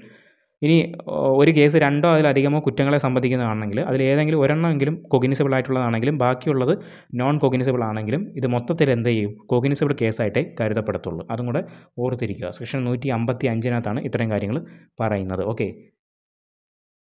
എൺപത്തി ഏഴാമത്തെ ചോദ്യം സി ആർ പി സിയുടെ അമ്പത്തിമൂന്നാം വകുപ്പ് പ്രകാരം ആരുടെ അപേക്ഷയിലാണ് പ്രതിയുടെ വൈദ്യ പരിശോധന നടത്തുന്നത്? ഓപ്ഷൻസ് പോലീസ് പ്രതി കോടതി അഭിഭാഷകൻ എൺപത്തി ഏഴിന്റെ ഉത്തരം ഓപ്ഷൻ എ ആണ് വരുന്നത്. പോലീസാണ്. ഓക്കെ? എൺപത്തി ഏഴാമത്തെ ചോദ്യം. ഉത്തരം ഓപ്ഷൻ എ ആണ്. പോലീസാണ് വരുന്നത്. അപ്പോൾ C R P C section അമ്പത്തി മൂന്ന് എന്താണ് പറയുന്നത്? Examination of accused by medical practitioner at the request of police police ഉദ്യോഗസ്ഥന്റെ അപേക്ഷയിന്മേൽ പ്രതിയെ മെഡിക്കൽ പ്രാക്ടീഷണർ പരിശോധിക്കുന്നതാണ് സെഷൻ അമ്പത്തി മൂന്നിനകത്ത് പറയുന്നത്. അപ്പോൾ ആവശ്യമായിട്ടുള്ള സന്ദർഭങ്ങളിൽ സബ് ഇൻസ്പെക്ടറുടെ പദവിയിൽ താഴെയല്ലാത്ത ഒരു പോലീസ് ഉദ്യോഗസ്ഥന്റെ അപേക്ഷ പ്രകാരം രജിസ്റ്റർ ചെയ്യപ്പെട്ട ഒരു മെഡിക്കൽ പ്രാക്ടീഷണർ അറസ്റ്റ് ചെയ്യപ്പെട്ട ആളുടെ ദേഹപരിശോധന നടത്തേണ്ടതാണ്. സെക്ഷൻ അമ്പത്തി മൂന്നിനകത്ത് പറയുന്നു. എന്നാൽ ഇത്തരം സന്ദർഭങ്ങളിൽ ഒരു സ്ത്രീയുടെ ദേഹപരിശോധന നടത്തുന്നത് ഒരു വനിതാ മെഡിക്കൽ പ്രാക്ടീഷണറോ അവരുടെ മേൽനോട്ടത്തിൽ മാത്രമേ പാടുള്ളൂ. അതും ഇതിനകത്ത് പറയുന്നുണ്ട്. സെക്ഷൻ അമ്പത്തി മൂന്നിനകത്ത് പറയുന്നുണ്ട്. ഓക്കെ അപ്പോൾ C R P C section അമ്പത്തി മൂന്ന് പ്രകാരം എന്താണ്? പോലീസ് ഉദ്യോഗസ്ഥന്റെ അപേക്ഷന്മേൽ പ്രതിയെ മെഡിക്കൽ പ്രാക്ടീഷണർ പരിശോധിക്കുന്നതിനെക്കുറിച്ചാണ് പറയുന്നത്. അപ്പോൾ ഇത്തരം സന്ദർഭങ്ങളിൽ ഒരു സ്ത്രീയുടെ ദേഹപരിശോധന നടത്തുന്നുണ്ടെങ്കിൽ ഒരു വനിതാ മെഡിക്കൽ പ്രാക്ടീഷണറുടെ പ്രാക്ടീഷണറോ അല്ലെങ്കിൽ അവരുടെ മേൽനോട്ടത്തിൽ മാത്രമേ നടത്താൻ പാടുള്ളൂ എന്ന് ഇതിനകത്ത് പറയുന്നുണ്ട്. സെക്ഷൻ അമ്പത്തി മൂന്നിനകത്ത് പറയുന്നുണ്ട്. ഓക്കെ എൺപത്തി എട്ടാമത്തെ ചോദ്യം. താഴെ തന്നിരിക്കുന്നവയിൽ ശരി ഏത്? എ നൂറ്റി അമ്പത്തിയാറാം വകുപ്പ് അന്വേഷണത്തിന്റെ നടപടികൾ വ്യക്തമാക്കുന്നു. തെറ്റാണ്. നൂറ്റി അമ്പത്തിയാറാം വകുപ്പ് എന്താണ് പറയുന്നത്? C R P C section നൂറ്റി അമ്പത്തിയാറ് പറയുന്നത് police officers power to investigate cognizable cases. Cognizable കേസുകൾ അന്വേഷണം നടത്താൻ പോലീസ് ഉദ്യോഗസ്ഥനുള്ള അധികാരത്തെക്കുറിച്ചാണ് C R P C section നൂറ്റി അമ്പത്തിയാറിനകത്ത് പറയുന്നത്. എന്താണ് പറയുന്നത്? കൊഗ്നിസിബിൾ കേസുകൾ അന്വേഷണം നടത്താനുള്ള പോലീസ് ഉദ്യോഗസ്ഥനുള്ള അധികാരത്തെക്കുറിച്ചാണ് സി ആർ പി സിയുടെ സെക്ഷൻ നൂറ്റി അമ്പത്തി ആറിനകത്ത് പറയുന്നത്. പക്ഷേ അന്വേഷണത്തിന്റെ നടപടികൾ പ്രൊസീജിയർ ഫോർ ഇൻവെസ്റ്റിഗേഷനെ കുറിച്ച് പറയുന്നത് സെക്ഷൻ നൂറ്റി അമ്പത്തി ഏഴിനകത്താണ് സെക്ഷൻ നൂറ്റി അമ്പത്തി ഏഴിനകത്താണ് എന്ത് പറയുന്നത് പ്രൊസീജിയർ ഫോർ ഇൻവെസ്റ്റിഗേഷനെ കുറിച്ച് പറയുന്നത്. അന്വേഷണം നടത്താനുള്ള നടപടിക്രമം. അപ്പം എ പ്രസ്താവന തെറ്റാണ്. ബി അറുപത്തിയാറാം വകുപ്പ് സമൻസ് കൈപ്പറ്റ കൈപ്പറ്റേണ്ട വ്യക്തിയെ കണ്ടില്ലെങ്കിലുള്ള നടപടികൾ വിശദീകരിക്കുന്നു. തെറ്റാണ്. അറുപത്തിയാറാം വകുപ്പിനകത്ത് പറയുന്നത് സർവീസ് ഓൺ ഗവൺമെന്റ് സെർവന്റാണ് സർക്കാർ ഉദ്യോഗസ്ഥന് സമൻസ് നടത്തേണ്ടത് എങ്ങനെയാണെന്നുള്ളതിനെക്കുറിച്ചാണ് സെക്ഷൻ അറുപത്തി ആറിനകത്ത് പറയുന്നത്. ഓക്കെ പക്ഷേ വകുപ്പ് സമൻസ് കൈപ്പറ്റേണ്ട വ്യക്തിയെ കണ്ടില്ലെങ്കിലുള്ള നടപടികൾ വിശദീകരിക്കുന്ന വകുപ്പ് ഏതാണ്? സെക്ഷൻ അറുപത്തി നാലാണ് okay. Service when persons summoned cannot be found. Summons ചെയ്യപ്പെട്ട ആളെ കണ്ടെത്താൻ കഴിഞ്ഞില്ല എങ്കിലുള്ള നടപടിക്രമത്തെക്കുറിച്ച് പറയുന്നത് സെക്ഷൻ അറുപത്തി നാലിനകത്താണ് ഓക്കെ. അപ്പോൾ സമൻസ് കൈപ്പണ്ട ആളെ കൈപ്പറ്റാൻ കഴിഞ്ഞിട്ടുണ്ടെങ്കിൽ അയാൾക്ക് വേണ്ടി അയാളുടെ കുടുംബത്തിലെ അയാളോടൊപ്പം താമസിക്കുന്ന പ്രായപൂർത്തിയായ ഏതെങ്കിലും ഒരു പുരുഷന് രണ്ട് പവർപ്പുൾ ഒന്ന് നൽകിക്കൊണ്ട് സമൻസ് നടത്താവുന്നതാണ് എന്ന് പറയുന്നുണ്ട്. അപ്രകാരം സമൻസ് നൽകപ്പെട്ട ആൾ അത് നടത്തുന്ന ഉദ്യോഗസ്ഥൻ ആവശ്യപ്പെടുന്നുവെങ്കിൽ മറ്റേ പവർപ്പിന്റെ പുറത്ത് കൈപ്പറ്റിയെ ഒപ്പിട്ട് കൊടുക്കേണ്ടതാണ് പ്രായപൂർത്തിയായ ഏതെങ്കിലും പുരുഷ അംഗം എന്നതിൽ വീട്ടു ജോലിക്കാരൻ ഉൾപ്പെടുന്നില്ല എന്നുള്ള കാര്യം ഓർത്തിരിക്കുക. ഓക്കെ അപ്പോൾ സെഷൻ അറുപത്തിനാല് പറയുന്നതെന്ന് പറഞ്ഞാൽ സമൻസ് ചെയ്യപ്പെട്ട ആളെ കണ്ടെത്താണ്ട കണ്ടെത്താൻ കഴിയുന്നില്ല എന്നുണ്ടെങ്കിൽ അയാളുടെ വീട്ടിലെ മുതിർന്ന പുരുഷ അംഗത്തിന് സമൻസ് കൈപ്പറ്റി കൊടുത്തിട്ട് അതിന്റെ പകർപ്പിനകത്ത് ഒപ്പിട്ട് വാങ്ങാം എന്ന് പറയുന്നുണ്ട്. അതുപോലെ തന്നെ ആ ഒരു മുതിർന്ന അംഗത്തിനകത്ത് വീട്ടു ജോലിക്കാരൻ ഉൾപ്പെടുന്നില്ല എന്നുള്ള കാര്യം ഓർത്തിരിക്കുക. സെഷൻ അറുപത്തിനാല് പ്രകാരം. ഓക്കെ. ഇനി സെഷൻ അറുപത്തി ആറ് എന്താണ് പറയുന്നത്? സർവീസ് ഓൺ ഗവൺമെന്റ് സർവനാണ്. സർക്കാർ ഉദ്യോഗസ്ഥനെ സമൻസ് നടത്തേണ്ടത് എങ്ങനെയാണെന്നാണ് പറയുന്നത്. അപ്പോൾ സർക്കാർ സർവീസുള്ള ഒരു വ്യക്തിയാണെങ്കിൽ അയാൾ ജോലി ചെയ്യുന്ന ഓഫീസിലെ മേധാവിക്ക് സമൻസിന്റെ രണ്ട് പകർപ്പുകൾ അയച്ചു കൊടുക്കും. അപ്പോൾ പ്രസ്തുത മേധാവിയാണ് ഉദ്യോഗസ്ഥന് സമൻസ് നൽകുകയും പകർപ്പിന്റെ പുറത്ത് എന്ത് ചെയ്യും? കൈപ്പറ്റിയതായിട്ട് ഒപ്പിട്ട് വാങ്ങി ഒപ്പിട്ട് വാങ്ങി കോടതിയിലേക്ക് തിരികെ അയക്കുകയും ചെയ്യുന്നത്. അതാണ് സെക്ഷൻ അറുപത്തി ആറിനകത്ത് പറയുന്നത്. അല്ലാതെ അറുപത്തി ആറിന വകുപ്പിനകത്ത് സമൻസ് കൈപ്പറ്റേണ്ട വ്യക്തിയെ കണ്ടില്ലെങ്കിലുള്ള നടപടിക്രമത്തെക്കുറിച്ചല്ല പറയുന്നത്. അത് പറയുന്നത് സെക്ഷൻ അറുപത്തി നാലിനകത്താണ് ഓക്കെ. ഇനി സെക്ഷൻ അമ്പത് അറസ്റ്റ് ചെയ്യപ്പെട്ട വ്യക്തിയുടെ അവകാശങ്ങൾ വിവരിക്കുന്നു. തെറ്റാണ്. സെക്ഷൻ അമ്പതിനകത്ത് പറയുന്നത് person arrested to be informed of grounds of arrest and of right to bail. അറസ്റ്റിനുള്ള കാരണങ്ങളും ജാമ്യത്തിനുള്ള അവകാശത്തെക്കുറിച്ചാണ് പറയുന്നത്. അറസ്റ്റിനുള്ള കാരണങ്ങളും ജാമ്യത്തിനുള്ള അവകാശത്തെക്കുറിച്ചാണ് സെക്ഷൻ അമ്പതിനകത്ത് പറയുന്നത്. അല്ലാതെ അറസ്റ്റ് ചെയ്യപ്പെട്ട വ്യക്തിയുടെ അവകാശങ്ങളെക്കുറിച്ചല്ല വിവരിക്കുന്നത്. അറസ്റ്റിനുള്ള കാരണങ്ങളാണ് പറയുന്നത്. ഓക്കെ. അപ്പോൾ ഒരാളെ വാറന്റ് കൂടാതെ അറസ്റ്റ് ചെയ്യുന്ന ഒരു പോലീസ് ഉദ്യോഗസ്ഥനോ മറ്റൊരാളോ ഏത് കുറ്റത്തിനാണോ അയാൾ അറസ്റ്റ് ചെയ്യപ്പെട്ടിരിക്കുന്നതും ആ കുറ്റത്തിന്റെ പൂർണ വിവരങ്ങളും അറസ്റ്റിനുള്ള മറ്റു കാര്യങ്ങളും അയാൾ ഉടനടി അറിയിക്കേണ്ടതാണ്. ഓക്കെ. അതുപോലെ തന്നെ ജാമ്യമില്ലാത്ത കുറ്റത്തിന് അല്ലാത്ത മറ്റേതെങ്കിലും കുറ്റത്തിനാണ് വാറന്റ് കൂടാതെ ഒരാളെ അറസ്റ്റ് ചെയ്യുക എന്നുണ്ടെങ്കിൽ അറസ്റ്റ് ചെയ്യുന്ന പോലീസ് ഉദ്യോഗസ്ഥന് അയാളോട് തനിക്ക് ജാമ്യം ലഭിക്കാനുള്ള അവകാശമുണ്ടെന്നും അതിനായി ജാമ്യക്കാരെ ഏർപ്പാട് ചെയ്യാവുന്നതാണെന്നും അറിയിക്കേണ്ടതാണ്. അപ്പോൾ ഈ ഒരു കാര്യങ്ങളാണ് പറയുന്നത്. അപ്പം സെക്ഷൻ അമ്പത് അറസ്റ്റ് ചെയ്യപ്പെട്ട വ്യക്തിയുടെ അവകാശങ്ങളെക്കുറിച്ചല്ല പറയുന്നത്. അറസ്റ്റ് ചെയ്യാനുള്ള കാരണങ്ങളെക്കുറിച്ചാണ് പറയുന്നത്. ഓക്കെ ഇനി ഡി നൂറ്റി അറുപത്തിയേഴാം വകുപ്പ് അന്വേഷണ നടപടികൾ ഇരുപത്തിയേഴ് മണിക്കൂറിനുള്ളിൽ പൂർത്തിയായില്ലെങ്കിൽ സ്വീകരിക്കേണ്ട നടപടികൾ വ്യക്തമാക്കുന്നു. അത് ആൾറെഡി പറഞ്ഞതാണ്. അതാണ് ശരി. ഓക്കെ എൺപത്തിയെട്ടിന്റെ ഉത്തരം ഓപ്ഷൻ ഡി ആണ് വരുന്നത്. നൂറ്റി അറുപത്തിയേഴാം വകുപ്പ് അന്വേഷണ നടപടികൾ ഇരുപത്തിയേഴ് മണിക്കൂറിനുള്ളിൽ പൂർത്തിയായില്ലെങ്കിൽ സ്വീകരിക്കേണ്ട നടപടികൾ വ്യക്തമാക്കുന്നു. എൺപത്തി ഒമ്പത് ആത്മഹത്യയുമായി ബന്ധപ്പെട്ട റിപ്പോർട്ട് പോലീസ് നൽകുന്നത് സി ആർ പി സിയുടെ ഏത് വകുപ്പ് അനുസരിച്ചാണ്? ആത്മഹത്യയുമായി ബന്ധപ്പെട്ട റിപ്പോർട്ട് പോലീസ് നൽകുന്നത് സി ആർ പി സിയുടെ ഏത് വകുപ്പ് അനുസരിച്ചാണ്? ഓപ്ഷൻസ് സെഷൻ നൂറ്റി എഴുപത്തിനാല് സെഷൻ നൂറ്റി അറുപത്തി ഒന്ന് സെഷൻ അമ്പത്തിനാല് സെഷൻ എൺപത്തിനാല്. ഉത്തരം ഓപ്ഷൻ എ ആണ് വരുന്നത്. സെക്ഷൻ നൂറ്റി എഴുപത്തിനാല് police to enquire and report on suicide etcetera ആത്മഹത്യ മുതലായവയിൽ പോലീസ് അന്വേഷിക്കുകയും റിപ്പോർട്ട് ചെയ്യുകയും വേണം. എന്നെക്കുറിച്ച് പറയുന്നതാണ് എന്ത് സെക്ഷൻ നൂറ്റി എഴുപത്തിനാല് എന്ന് പറയുന്നത്. ആത്മഹത്യയുമായി ബന്ധപ്പെട്ട റിപ്പോർട്ട് പോലീസ് നൽകുന്നത് സി ആർ പി സിയുടെ ഏത് വകുപ്പ് അനുസരിച്ചാണ്? സെക്ഷൻ നൂറ്റി എഴുപത്തി നാല് അനുസരിച്ചാണ്. ഓക്കെ. സെക്ഷൻ നൂറ്റി അറുപത്തി ഒന്നെന്ന് പറയുന്നത് examination of witnesses of by പോലീസാണ് സാക്ഷികളെ പോലീസ് വിസ്തരിക്കുന്നതിനെ കുറിച്ചാണ് സെക്ഷൻ നൂറ്റി അറുപത്തി ഒന്നിനകത്ത് പറയുന്നത്. ഓക്കെ സെക്ഷൻ നൂറ്റി അറുപത്തി ഒന്നിനകത്താണ് എന്താണ് പറയുന്നത്? Examination of witnesses by police സാക്ഷികളെ പോലീസ് വിസ്തരിക്കുന്നതിനെ കുറിച്ചാണ് പറയുന്നത്.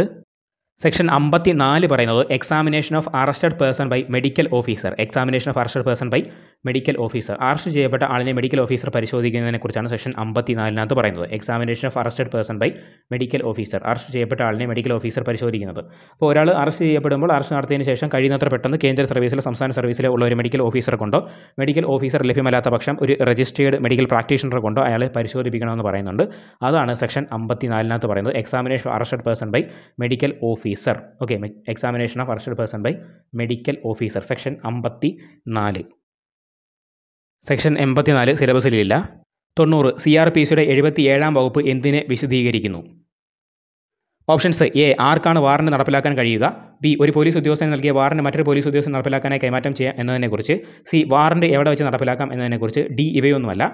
തൊണ്ണൂറിന്റെ ഉത്തരം ഓപ്ഷൻ സി ആണ് വരുന്നത്. വാറന്റ് എവിടെ വെച്ച് നടപ്പിലാക്കാം? അപ്പോൾ C R P C section എഴുപത്തി ഏഴ് പറയുന്നത് where warrant may be executed warrant എവിടെ നടപ്പാക്കണം? Where warrant may be executed warrant എവിടെ നടപ്പാക്കണം? അപ്പോൾ ഒരു അറസ്റ്റ് വാറന്റ് ഇന്ത്യയിൽ ഏതു സ്ഥലത്ത് വെച്ചും നടപ്പാക്കാവുന്നതാണ്. അതിനെക്കുറിച്ചാണ് സെക്ഷൻ എഴുപത്തി ഏഴിനകത്ത് പറയുന്നത്. അപ്പോൾ വാറന്റ് പുറപ്പെടുവിക്കുന്നത് രേഖാമൂലമായിരിക്കണം. അതുപോലെ തന്നെ അതിലൊരു അസലും ഒരു പകർപ്പും ഉണ്ടായിരിക്കണം. ബന്ധപ്പെട്ട ഉദ്യോഗസ്ഥൻ രണ്ടിലും ഒപ്പിട്ടിരിക്കേണ്ടതാണ്. കൂടാതെ കോടതിയുടെ സീലും ഇതിനകത്ത് ഉണ്ടായിരിക്കണം അപ്പോൾ ഒരിക്കലും പുറപ്പെടുവിച്ച ഒരു വാറന്റ് അത് പുറപ്പെടുവിച്ച കോടതി നടപ്പിലാക്കുന്നവരെ അല്ലെങ്കിൽ റദ്ദാക്കുന്നവരെ അതിന് കാലാവധി ഉണ്ടായിരിക്കുന്നതാണ്. ഓക്കെ. അപ്പോൾ C R P C section എഴുപത്തി ഏഴ് എന്താണ് പറയുന്നത്? Where warrant may be executed. Warrant എവിടെ വെച്ച് നടപ്പിലാക്കണം? ഓക്കെ. തൊണ്ണൂറ്റി ഒന്നാമത്തെ ചോദ്യം. Personality is that which permits? A prediction of what a person will do in a given situation ലഭ്യമായ ഒരു സന്ദർഭത്തിൽ ഒരു വ്യക്തി എന്തു ചെയ്യും എന്നത് പ്രവചിക്കാൻ അനുവദിക്കുന്നത് എന്തോ അതാണ് വ്യക്തിത്വം. വ്യക്തിത്വത്തെപ്പറ്റി ഇങ്ങനെ ഒരു നിർവചനം നൽകിയത് താഴെ പറയുന്നത് ആരാണ്? Options G W Allport R B Cattell Alfred Binet R S Woodworth. തൊണ്ണൂറ്റി ഒന്നിന്റെ ഉത്തരം ഓപ്ഷൻ ബി ആണ് വരുന്നത്. ആർ ബി ആണ് കേട്ടോ. ആർ ബി കാറ്റൽ അപ്പോൾ personality is that which permits a prediction of what a person will do in a given situation എന്ന് പറഞ്ഞത് ആരാണ്? ആർ ബി ആണ്. ഓക്കെ തൊണ്ണൂറ്റി രണ്ട് ഒരു ഐ ക്യു ടെസ്റ്റിൽ എൺപത് ടു എൺപത്തി ഒമ്പത് സ്കോർ ലഭിക്കുന്ന ആൾ ഏത് വിഭാഗത്തിൽപ്പെടും? ഓപ്ഷൻസ് സീമാവർത്തി ബോർഡർ ലൈൻ.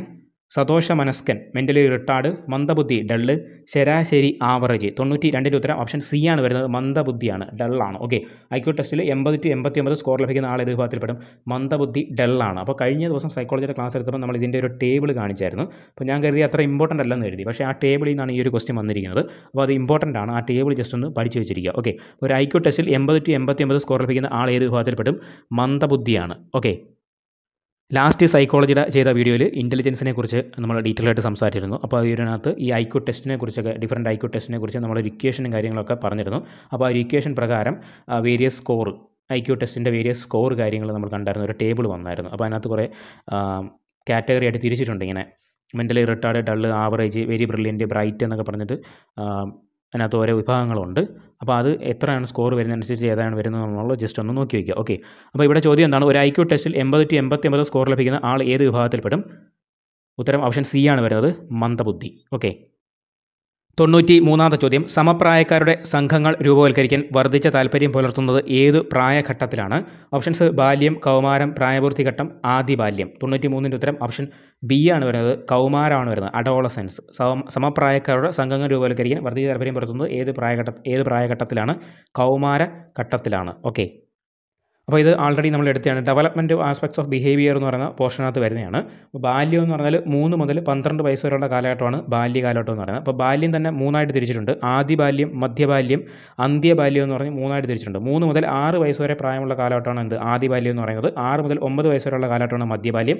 ഒമ്പത് മുതൽ പന്ത്രണ്ട് വയസ്സ് വരെയുള്ള കാലഘട്ടമാണ് എന്ത്? അന്ത്യബാല്യം എന്ന് അറിയപ്പെടുന്നത്. ഓക്കെ അപ്പോൾ ആ ആദ്യ ബാല്യം എയർലി ചൈൽഡ്ഹുഡ് ഓപ്ഷനകത്തുണ്ട് ബാല്യം ചൈൽഡ്ഹുഡ് അത് രണ്ടും അല്ല. പിന്നെ അഡൽട്ട്ഹുഡ് പ്രായപൂർത്തിയായ ഘട്ടത്തിലല്ല സമപ്രായക്കാരുടെ സംഘം രൂപവൽക്കരിക്കാൻ വർദ്ധി താല്പര്യം പുലർത്തുന്നത്. അത് കൗമാരത്തിലാണ്. അഡോളസെൻസ് ഓക്കെ തൊണ്ണൂറ്റി നാലാമത്തെ ചോദ്യം. താഴെ കൊടുത്തിരിക്കുന്ന പ്രസ്താവനകൾ ഏത് മനഃശാസ്ത്രജ്ഞനുമായി ബന്ധപ്പെട്ടിരിക്കുന്നു? ഒന്ന് സിഗ്മണ്ട് ഫ്രോയിഡിന്റെ ഒരു അമേരിക്കൻ പിൻഗാമിയാണ്. രണ്ട് അദ്ദേഹത്തിന്റെ കണ്ടെത്തലുകൾ മനോസാമൂഹിക വികാസവുമായി ബന്ധപ്പെട്ടതാണ്. സൈക്കോ സോഷ്യൽ ഡെവലപ്മെന്റ് മൂന്ന് സാമൂഹിക വികാസം എട്ട് പ്രതിസന്ധി ഘട്ടങ്ങളിലൂടെ കടന്നു പോകുന്നു options Carl യൂങ് William James William Wundt Erik Erikson. തൊണ്ണൂറ്റിനാലിന്റെ ഉത്തരം ഓപ്ഷൻ ഡി ആണ്. എറിക് എറിക്സൺ ആണ്. ഓക്കെ അപ്പോൾ സൈക്കോ സോഷ്യൽ ഡെവലപ്മെന്റുമായിട്ട് ബന്ധപ്പെട്ട് എട്ട് വികാസം പ്രാപിക്കുന്നത് സാമൂഹിക വികാസം പ്രാപിക്കുന്നത് എട്ട് പ്രതിസന്ധി ഘട്ടങ്ങളിലൂടെയാണെന്ന് പറഞ്ഞത് ആരാണ്? എറിക് എറിക്സൺ എന്ന് പറയുന്ന മനഃശാസ്ത്രജ്ഞനാണ്. അപ്പോൾ സൈക്കോ സോഷ്യൽ ഡെവലപ്മെന്റ് എന്ന് പറഞ്ഞാൽ താൻ ഉൾപ്പെട്ട സംഘത്തിന് സ്വീകാര്യനായിട്ടുള്ള ഒരു അംഗമായി തീരാൻ ആവശ്യമായിട്ടുള്ള മനോഭാവങ്ങളും മൂല്യങ്ങളും നൈപുണികളും ആർജിക്കാൻ ഒരു ശിശുവിനെ പ്രാപ്തനാക്കുന്ന വികസന പ്രക്രിയയാണ് സോഷ്യൽ ഡെവലപ്മെന്റ് സാമൂഹിക വികസനം എന്ന് പറയുന്നത് അല്ലെങ്കിൽ സൈക്കോ സോഷ്യൽ ഡെവലപ്മെന്റ് എന്ന് പറയുന്നത്. അപ്പോൾ ഇതുമായിട്ട് ബന്ധപ്പെട്ട സിദ്ധാന്തം മുന്നോട്ട് വയ്ക്കുന്ന ആരാണ്? എറിക് എറിക്സൺ എന്ന് പറയുന്ന അമേരിക്കൻ ശാസ്ത്രജ്ഞനാണ്. ഓക്കെ. അപ്പോൾ അദ്ദേഹത്തിന് അദ്ദേഹത്തിന്റെ ആ ഒരു സൈക്കോ സോഷ്യൽ ഡെവലപ്മെന്റുമായി ബന്ധപ്പെട്ട് എട്ട് പ്രതിസന്ധി ഘട്ടങ്ങളിലൂടെയാണ് ഒരു വ്യക്തി കടന്നു പോകുന്നതെന്ന് അദ്ദേഹം പറയുന്നത്. അപ്പോൾ ഒന്നാമത്തെന്ന് പറഞ്ഞാൽ അതിനകത്ത് ബേസിക് ട്രസ്റ്റ് വേഴ്സ് മിസ്ട്രസ്റ്റ് എന്ന് പറയുന്ന ഘട്ടമുണ്ട്. രണ്ടാമത്തത് autonomy versus shame and doubt മൂന്നാമത്തത് ഇനിഷ്യേറ്റീവ് വേഴ്സസ് ഗിൽറ്റ് നാല് ഇൻഡസ്ട്രി വേഴ്സസ് ഇൻഫീരിയോറിറ്റി. അഞ്ച് ഐഡന്റിറ്റി വേഴ്സസ് റോൾ കൺഫ്യൂഷൻ. ആറ് ഇന്റിമസി വേഴ്സസ് ഐസൊലേഷൻ. ഏഴ് ജനറേറ്റിവിറ്റി വേഴ്സസ് സ്റ്റഗ്നേഷൻ. എട്ട് ഇന്റഗ്രിറ്റി വേഴ്സസ് ഡെസ്പെയർ അപ്പോൾ ഇതിനെക്കുറിച്ചൊക്കെ ഡീറ്റെയിൽ ആയിട്ട് നമ്മുടെ വീഡിയോയിൽ നമ്മുടെ സൈക്കോളജിയുടെ വീഡിയോയിൽ ഡിസ് ഡിസ്കസ് ചെയ്തിട്ടുണ്ട്. അപ്പോൾ സിഗ്മണ്ട് ഫ്രോഡിന്റെ ഒരു അമേരിക്കൻ ശാസ്ത്ര പിൻഗാമി അതുപോലെ തന്നെ സൈക്കോ സോഷ്യൽ ഡെവലപ്മെന്റ് ആയിട്ട് ബന്ധപ്പെട്ട ശാസ്ത്രജ്ഞനാണ് ആര്? എറിക് എറിക്സൺ എന്ന് പറയുന്നത്. അദ്ദേഹത്തിന്റെ സാമൂഹ്യ വികാസം എട്ട് പ്രതിസന്ധി ഘട്ടങ്ങളിലൂടെ കടന്നു പോകുന്നു എന്നുള്ള തിയറിയൊക്കെ ഡീറ്റെയിൽ ആയിട്ട് പഠിച്ചതാണ്. ഓക്കെ. തൊണ്ണൂറ്റി അഞ്ചാമത്തെ ചോദ്യം. ഒന്ന് ആയിരത്തി എണ്ണൂറ്റി എഴുപത്തി ഒമ്പതിലാണ് ഇത് സ്ഥാപിക്കുന്നത്. രണ്ട് ലൈപ്സിംഗ് സർവകലാശാലയിലാണ് സ്ഥാപിക്കപ്പെട്ടത്. മൂന്ന് ഇത്തരത്തിൽ ലോകത്ത് ആദ്യത്തേതാണിത്. എന്തിനെക്കുറിച്ചുള്ള മേൽ പറഞ്ഞ പരാമർശങ്ങളാണിത്. ഓപ്ഷൻസ് പ്രാവുകളെ വെച്ചുള്ള പരീക്ഷണശാല ബി പട്ടിയെ വെച്ചുള്ള പരീക്ഷണശാല സി മനഃശാസ്ത്ര പരീക്ഷണശാല ഡി സ്വപ്ന വിശകലന കേന്ദ്രം. തൊണ്ണൂറ്റി അഞ്ചിന്റെ ഉത്തരം ഏതായിരിക്കും? ഓപ്ഷൻ സി ആണ് മനഃശാസ്ത്ര പരീക്ഷണശാല. നമുക്ക് സൈക്കോളജിയെക്കുറിച്ചല്ലേ പഠിക്കാനുള്ളത്? അപ്പോൾ അതായിരിക്കുമല്ലോ ആൻസർ തൊണ്ണൂറ്റി അഞ്ചിന്റെ ഉത്തര ഓപ്ഷൻ സി ആണ്. അപ്പോൾ ഒരു മനഃശാസ്ത്ര പരീക്ഷണശാല നമ്മുടെ ലൈപ്സിംഗ് സർവകലാശാലയിൽ ആയിരത്തി തൊണ്ണൂറ്റി എഴുപത്തി ഒമ്പതിൽ സ്ഥാപിക്കപ്പെട്ടിട്ടുണ്ട്. അപ്പോൾ അത് ലോകത്ത് ആദ്യത്തെ ഒരു മനഃശാസ്ത്ര പരീക്ഷണശാലയാണ് അവിടെ സ്ഥാപിക്കപ്പെടുന്നത്. അപ്പോൾ അതിനെക്കുറിച്ചുള്ള ജസ്റ്റ് മൂന്ന് സ്റ്റേറ്റ്മെന്റ്സുകളാണ് കൊടുത്തിരുന്നത്. റയർ ആയിട്ടുള്ള ചോദ്യമാണ്. ആയിരത്തി തൊണ്ണൂറ്റി എഴുപത്തി ഒമ്പതിലാണ് ലൈപ്സിംഗ് സർവകലാശാലയിൽ നമ്മുടെ ലോകത്തിലെ ആദ്യത്തെ മനഃശാസ്ത്ര പരീക്ഷണശാല സ്ഥാപിക്കപ്പെടുന്നു എന്നുള്ള കാര്യം ജസ്റ്റ് ഒന്ന് ഓർത്തിരിക്കുക. ഓക്കെ തൊണ്ണൂറ്റി ആറ് സംവേദനം ബിംബം വികാരം എന്നിവ ഏതിന്റെ പഠനത്തിന്റെ ഭാഗമായി നിർണയിച്ചതാണ്? ഓപ്ഷൻസ് ബുദ്ധി ഓർമ്മ മനസ്സ് അഭിപ്രേരണ. തൊണ്ണൂറ്റി ആറിന്റെ ഉത്തരം ഓപ്ഷൻ സി ആണ് വരുന്നത്. മനസ്സാണ്. ഓക്കെ അപ്പോൾ സംവേദനം സെൻസേഷൻ ബിംബം ഇമേജ് വികാരം ഇമോഷൻ ഇവയൊക്കെ ഏതിന്റെ പഠന ഭാഗമായിട്ടാണ് നിർണയിക്കുന്നത് മൈൻഡ് മനസ്സിനെക്കുറിച്ചുള്ള പഠനശാസ്ത്ര പഠനത്തിന്റെ ഭാഗമായിട്ടാണ് സൈക്കോളജിയുടെ പഠനത്തിന് വേണ്ടിയിട്ടാണ് നിർണയിക്കുന്നത് എന്നുള്ള കാര്യം ജസ്റ്റ് ഓർത്തിരിക്കുക. ഓക്കെ തൊണ്ണൂറ്റി ഏഴാമത്തെ ചോദ്യം വില്യം ജെയിംസ് ഏത് മനഃശാസ്ത്ര ചിന്താ പദ്ധതിയുടെ പ്രയോക്താവാണ്? ഓപ്ഷൻസ് ധർമ്മവാദം ഘടനാവാദം മാനവികതാവാദം ജ്ഞാതൃവാദം തൊണ്ണൂറ്റിയേഴിന്റെ ഉത്തരം ഓപ്ഷൻ എ ആണ് വരുന്നത്. ധർമ്മവാദമാണ്? ഫംഗ്ഷണലിസം. ഫംഗ്ഷണലിസത്തിന്റെ ഉപജ്ഞാതാവാണ് ആര്? വില്യം ജെയിംസ് എന്ന് പറയുന്ന മനഃശാസ്ത്ര ഓക്കെ അപ്പോൾ വില്യം ജെയിംസ് ഏത് മനഃശാസ്ത്ര ചിന്താപതിയുടെ പ്രയോക്താവാണ്? ഫംഗ്ഷണലിസത്തിന്റെ പ്രയോക്താവാണെന്നുള്ള കാര്യം ഓർത്തിരിക്കുക. ധർമ്മവാദം. ഓക്കെ. തൊണ്ണൂറ്റി എട്ടാമത്തെ ചോദ്യം. ചോദന പ്രതികരണങ്ങൾ വ്യവഹാരത്തെ നിർണയിക്കുന്നു. ആരുടെ നിരീക്ഷണമാണിത്? Options Thorndike J B Watson Jean പിയാഷെ J S Bruner okay തൊണ്ണൂറ്റി എട്ടിന്റെ ഉത്തരം എന്ന് പറയുന്നത് ഓപ്ഷൻ ബി ആണ് ജെ ബി വാട്സൺ ആണ്. വ്യവഹാരം ചോദന പ്രതികരണങ്ങൾ. അതായത് ചോദനം സ്റ്റിമുലസും പ്രതികരണം എന്ന് പറയുന്നത് റെസ്പോൺസ് ഓക്കെ അപ്പോൾ സ്റ്റിമുലസ് അതിനനുസരിച്ച് റെസ്പോൺസ് പ്രതികരണങ്ങൾ വ്യവഹാരത്തെ നിർണയിക്കുന്നു. വ്യവഹാരം എന്ന് പറയുന്നത് ബിഹേവിയറാണ് അപ്പോൾ ബിഹേവിയറിസ്റ്റിക് വാദം. വ്യവഹാരവാദത്തിന്റെ ഉപജ്ഞാതാവാണ് ആര്? ജെ ബി വാട്സൺ എന്ന് പറയുന്നത്. അപ്പോൾ ചോദന പ്രതികരണങ്ങൾ വ്യവഹാരത്തെ വ്യവഹാരത്തെ നിർണയിക്കുന്നു. ആരുടെ നിരീക്ഷണമാണ്? ജെ ബി വാട്സന്റെ നിരീക്ഷണമാണ്. അപ്പോൾ എല്ലാ മാനസിക പ്രവർത്തനങ്ങളും ചോദകങ്ങളാണെന്നും ഒരു പ്രതികരണം ഒരു ചോദകമായി ബന്ധപ്പെട്ടിരിക്കുന്നു പ്രസ്താവിക്കുന്നതാണ് വ്യവഹാരവാദം. ബിഹേവിയറിസ്റ്റിക് വാദം എന്ന് പറയുന്നത് ഇതാണ്. എല്ലാ മാനസിക പ്രവർത്തനങ്ങളും ചോദകങ്ങളാണെന്നും ഒരു പ്രതികരണം ഒരു ചോദകമായി ബന്ധപ്പെട്ടിരിക്കുന്നുവെന്നും പറയുന്നത് ആരാണ്? പറയുന്നത് ഏത് വാദത്തിനകത്താണ്? വ്യവഹാരവാദത്തിനകത്താണ്. ഓക്കെ അതുകൊണ്ട് തന്നെ വ്യവഹാരവാദ സിദ്ധാന്തങ്ങൾ അറിയപ്പെടുന്നത് ചോദക പ്രതികരണ ബന്ധ സിദ്ധാന്തങ്ങളെന്നും അറിയപ്പെടുന്നുണ്ട്. ചോദക പ്രതികരണ ബന്ധ സിദ്ധാന്തങ്ങളെന്നും അറിയപ്പെടുന്നുണ്ട്. അപ്പം പഠനം എന്നത് ചോദകവും പ്രതികരണവും തമ്മിലുള്ള അനുബന്ധനം കണ്ടീഷനിങ് ആണെന്ന് വാദിക്കുന്ന സിദ്ധാന്തമാണെന്ത്? വ്യവഹാരവാദം. പഠനം എന്നത് ചോദകവും പ്രതികരണവും തമ്മിലുള്ള അനുബന്ധനമാണെന്ന് വാദിക്കുന്ന സിദ്ധാന്തമാണ് വ്യവഹാരവാദം. അപ്പോൾ വ്യവഹാര വാദത്തിന്റെ ഉപജ്ഞാതാവായിരുന്നു ജെ വി വാട്സൺ. ബിഹേവിയറിസ്റ്റിക്ക് നമ്മൾ ഡീറ്റെയിൽ ആയിട്ട് എടുത്തിട്ടുണ്ട്. അപ്പോൾ ആ വീഡിയോ കണ്ട കൂടുതൽ വിവരങ്ങൾ നിങ്ങൾക്ക് അറിയാം. ഓക്കെ അപ്പോൾ വ്യവഹാരവാദത്തിലെ ആശയങ്ങളും സിദ്ധാന്തങ്ങളും രൂപപ്പെടുത്തിയ മറ്റു കുറച്ച് ആൾക്കാരുണ്ട്. Pavlov Thorndike Skinner C L Hull. Okay ആ പേരുകൾ കൂടി ഓർത്തിരിക്കുക. Pavlov Thorndike Skinner C L Hull. ഇവർ ഏത് വാദവുമായിട്ട് ബന്ധപ്പെട്ടിരിക്കുന്നു ചോദിച്ചാൽ ബിഹേവിയറിസ്റ്റിക്കുമായിട്ട് ബന്ധപ്പെട്ടിരിക്കുന്നു. അല്ലെങ്കിൽ വ്യവഹാരവാദവുമായി ബന്ധപ്പെട്ടിരിക്കുന്നു. ഓക്കെ അപ്പോൾ ചോദന പ്രതികരണങ്ങൾ വ്യവഹാരത്തെ നിർണയിക്കുന്നു. ആരുടെ നിരീക്ഷണമാണ്? ജെ വി വാട്സന്റെ നിരീക്ഷണങ്ങളാണ്. തൊണ്ണൂറ്റി ഒമ്പത് ഭാഗങ്ങളേക്കാൾ പൂർണ പ്രതിനിധി സമഗ്രതയ്ക്കാണ് എന്നത് ഏത് മനഃശാസ്ത്ര പദ്ധതിയുമായി ബന്ധപ്പെട്ടതാണ്? ഓപ്ഷൻസ് വ്യവഹാരവാദം ഘടനാവാദം ഗസ്റ്റാൾട്ട് സിദ്ധാന്തം ധർമ്മവാദം. തൊണ്ണൂറ്റി ഒമ്പതിന്റെ ഉത്തരം ഓപ്ഷൻ സി ആണ് ഗസ്റ്റാൾട്ട് സിദ്ധാന്തം ഗസ്റ്റാൾട്ട് തിയറി വൈജ്ഞാനിക പ്രക്രിയയിലാണ് പറയുന്നത്. ഭാഗങ്ങളേക്കാൾ പൂർണ പ്രതീതി സമഗ്രതയ്ക്കാണ് എന്ന് പറയുന്നത് ഏതാണ്? ഗസ്റ്റാൾട്ട് സിദ്ധാന്തത്തിനാണ് അങ്ങനെ പറയുന്നത്. ഓക്കെ വ്യവഹാരവാദം നമ്മൾ ആൾറെഡി പറഞ്ഞു. ഓക്കെ അപ്പോൾ ഭാഗങ്ങളേക്കാൾ പൂർണ പ്രതീതി സമഗ്രതയ്ക്കാണ് എന്ന് പറയുന്നത് ഏത് മനഃശാസ്ത്ര ബന്ധപ്പെട്ടിരിക്കുന്നു? ഗസ്റ്റാൾട്ട് സിദ്ധാന്തമാണ്. അതായത് മാറിക്കൊണ്ടിരിക്കുന്ന പരിസ്ഥിതിയുമായിട്ട് പൊരുത്തപ്പെടാനും മാനസിക ശേഷികൾ ആവശ്യമായി വരുന്ന ഒരു പ്രശ്നം പരിഹരിക്കുവാനും വ്യക്തിക്കുള്ള ശേഷിയാണ് കൊഗിനേറ്റീവ് പ്രോസസ്സ് എന്ന് പറയുന്നത്. കൊഗിനേറ്റീവ് വികസനം വൈജ്ഞാനിക വികസനമെന്ന് പറയുന്നത്. ഓക്കെ അപ്പോൾ പക്വതയിലേക്ക് ഒരു വ്യക്തി എത്തുമ്പോൾ വ്യക്തിയുടെ അനുഭവതലവും ചിന്താശേഷിയും വ്യത്യാസപ്പെടുന്നു. ചുറ്റുപാടുകളുമായിട്ടുള്ള ഇടപെടലുകൾ ചിന്തന പ്രക്രിയയിൽ ഒരുപാട് മാറ്റങ്ങളൊക്കെ വരുന്നുണ്ട്. അപ്പോൾ ഇതിനെക്കുറിച്ചൊക്കെ പറയുന്നതാണ് ഈ ഗെസ്റ്റാൾട്ട് തിയറി എന്ന് പറയുന്നത്. ഓക്കെ പി ആഷയുടെയൊക്കെ പരീക്ഷണങ്ങളും കാര്യങ്ങളൊക്കെ നമ്മൾ ഡീറ്റെയിൽ ആയിട്ട് എടുത്തിട്ടുണ്ട്. അപ്പോൾ ഭാഗങ്ങളേക്കാൾ പൂർണ പ്രതിനിധി സമഗ്രതയ്ക്കാണ് എന്ന് പറയുന്നത് ഗെസ്റ്റാൾട്ട് സിദ്ധാന്തമാണ്. നൂറാമത്തെ ചോദ്യം. വാക്കുകളും അവയുടെ അർത്ഥങ്ങളും അവ ഉളവാക്കുന്ന ധ്വനികളുമായി ബന്ധപ്പെട്ട ഓർമ്മ ഏതു പേരിൽ അറിയപ്പെടുന്നു? ഓപ്ഷൻസ് ഹ്രസ്വകാല സ്മരണ ഷോർട്ട് ടേം മെമ്മറി ബി ദീർഘകാല സ്മരണ long term memory C episodic ഓർമ്മ episodic memory D semantic memory okay ഉത്തരം നൂറിന്റെ ഉത്തരം എന്ന് പറയുന്നത് ഓപ്ഷൻ ഡി ആണ് വരുന്നത്. സെമാന്റിക് മെമ്മറിയാണ് അപ്പോൾ ഇന്റലിജൻസ് പറഞ്ഞപ്പോൾ മെമ്മറിയെക്കുറിച്ച് പറഞ്ഞു. അപ്പോൾ മെമ്മറിക്കകത്ത് നമ്മൾ നോർമലായിട്ടുള്ള ക്ലാസിഫിക്കേഷൻസ് പറഞ്ഞായിരുന്നു. മൂന്ന് ടൈപ്പ് മെമ്മറി ഉണ്ട്. മസ്തിഷ്കത്തിന് മൂന്ന് തരം മെമ്മറി പ്രക്രിയകളുണ്ടെന്ന് പറഞ്ഞായിരുന്നു. Sensory memory short term memory അതുപോലെ തന്നെ ലോങ് ടേം മെമ്മറി ഉണ്ടെന്ന് പറഞ്ഞിരുന്നു. അടുത്ത കാലത്തായിട്ട് ഓർമ്മയുടെ നാല് രൂപങ്ങൾ മനഃശാസ്ത്രം വിവരിക്കുന്നുണ്ട്. നാല് ടൈപ്പ് ഓർമ്മ നമ്മുടെ സൈക്കോളജിസ്റ്റുകൾ പറയുന്നുണ്ട്. അതിനകത്തൊന്നാണ് ഈ സെമാന്റിക് മെമ്മറി എന്ന് പറയുന്നത്.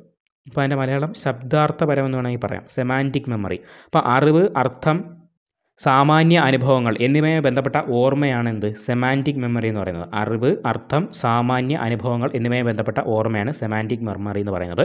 പുസ്തകങ്ങളിൽ നിന്നും ലോക അനുഭവ സംഭവങ്ങളിൽ നിന്ന് ലഭിക്കുന്ന വിവരങ്ങൾ ഇതിൽ ഉൾപ്പെടുന്നു. പുസ്തകങ്ങളിൽ നിന്ന് ലോക സംഭവങ്ങളിൽ നിന്ന് ലഭിക്കുന്ന വിവരങ്ങൾ ഇതിനകത്ത് ഉൾപ്പെടുന്നു?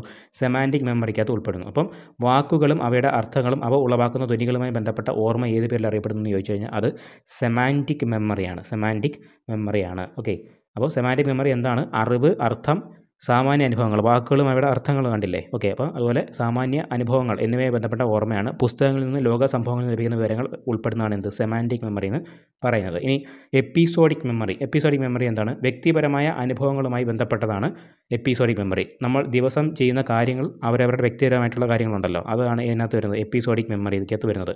അപ്പോൾ ഉപാഖ്യാനപരമായിട്ടുള്ള ഇത്തരം ഓർമ്മകൾ മറ്റുള്ളവർക്ക് മനസ്സിലാക്കാനായിട്ട് സാധ്യമായിട്ടുള്ള മെമ്മറികളല്ല. ഓക്കെ. അപ്പോൾ വ്യക്തിപരമായിട്ടുള്ള അനുഭവങ്ങളുമായി ബന്ധപ്പെട്ടതാണ് എന്ത്?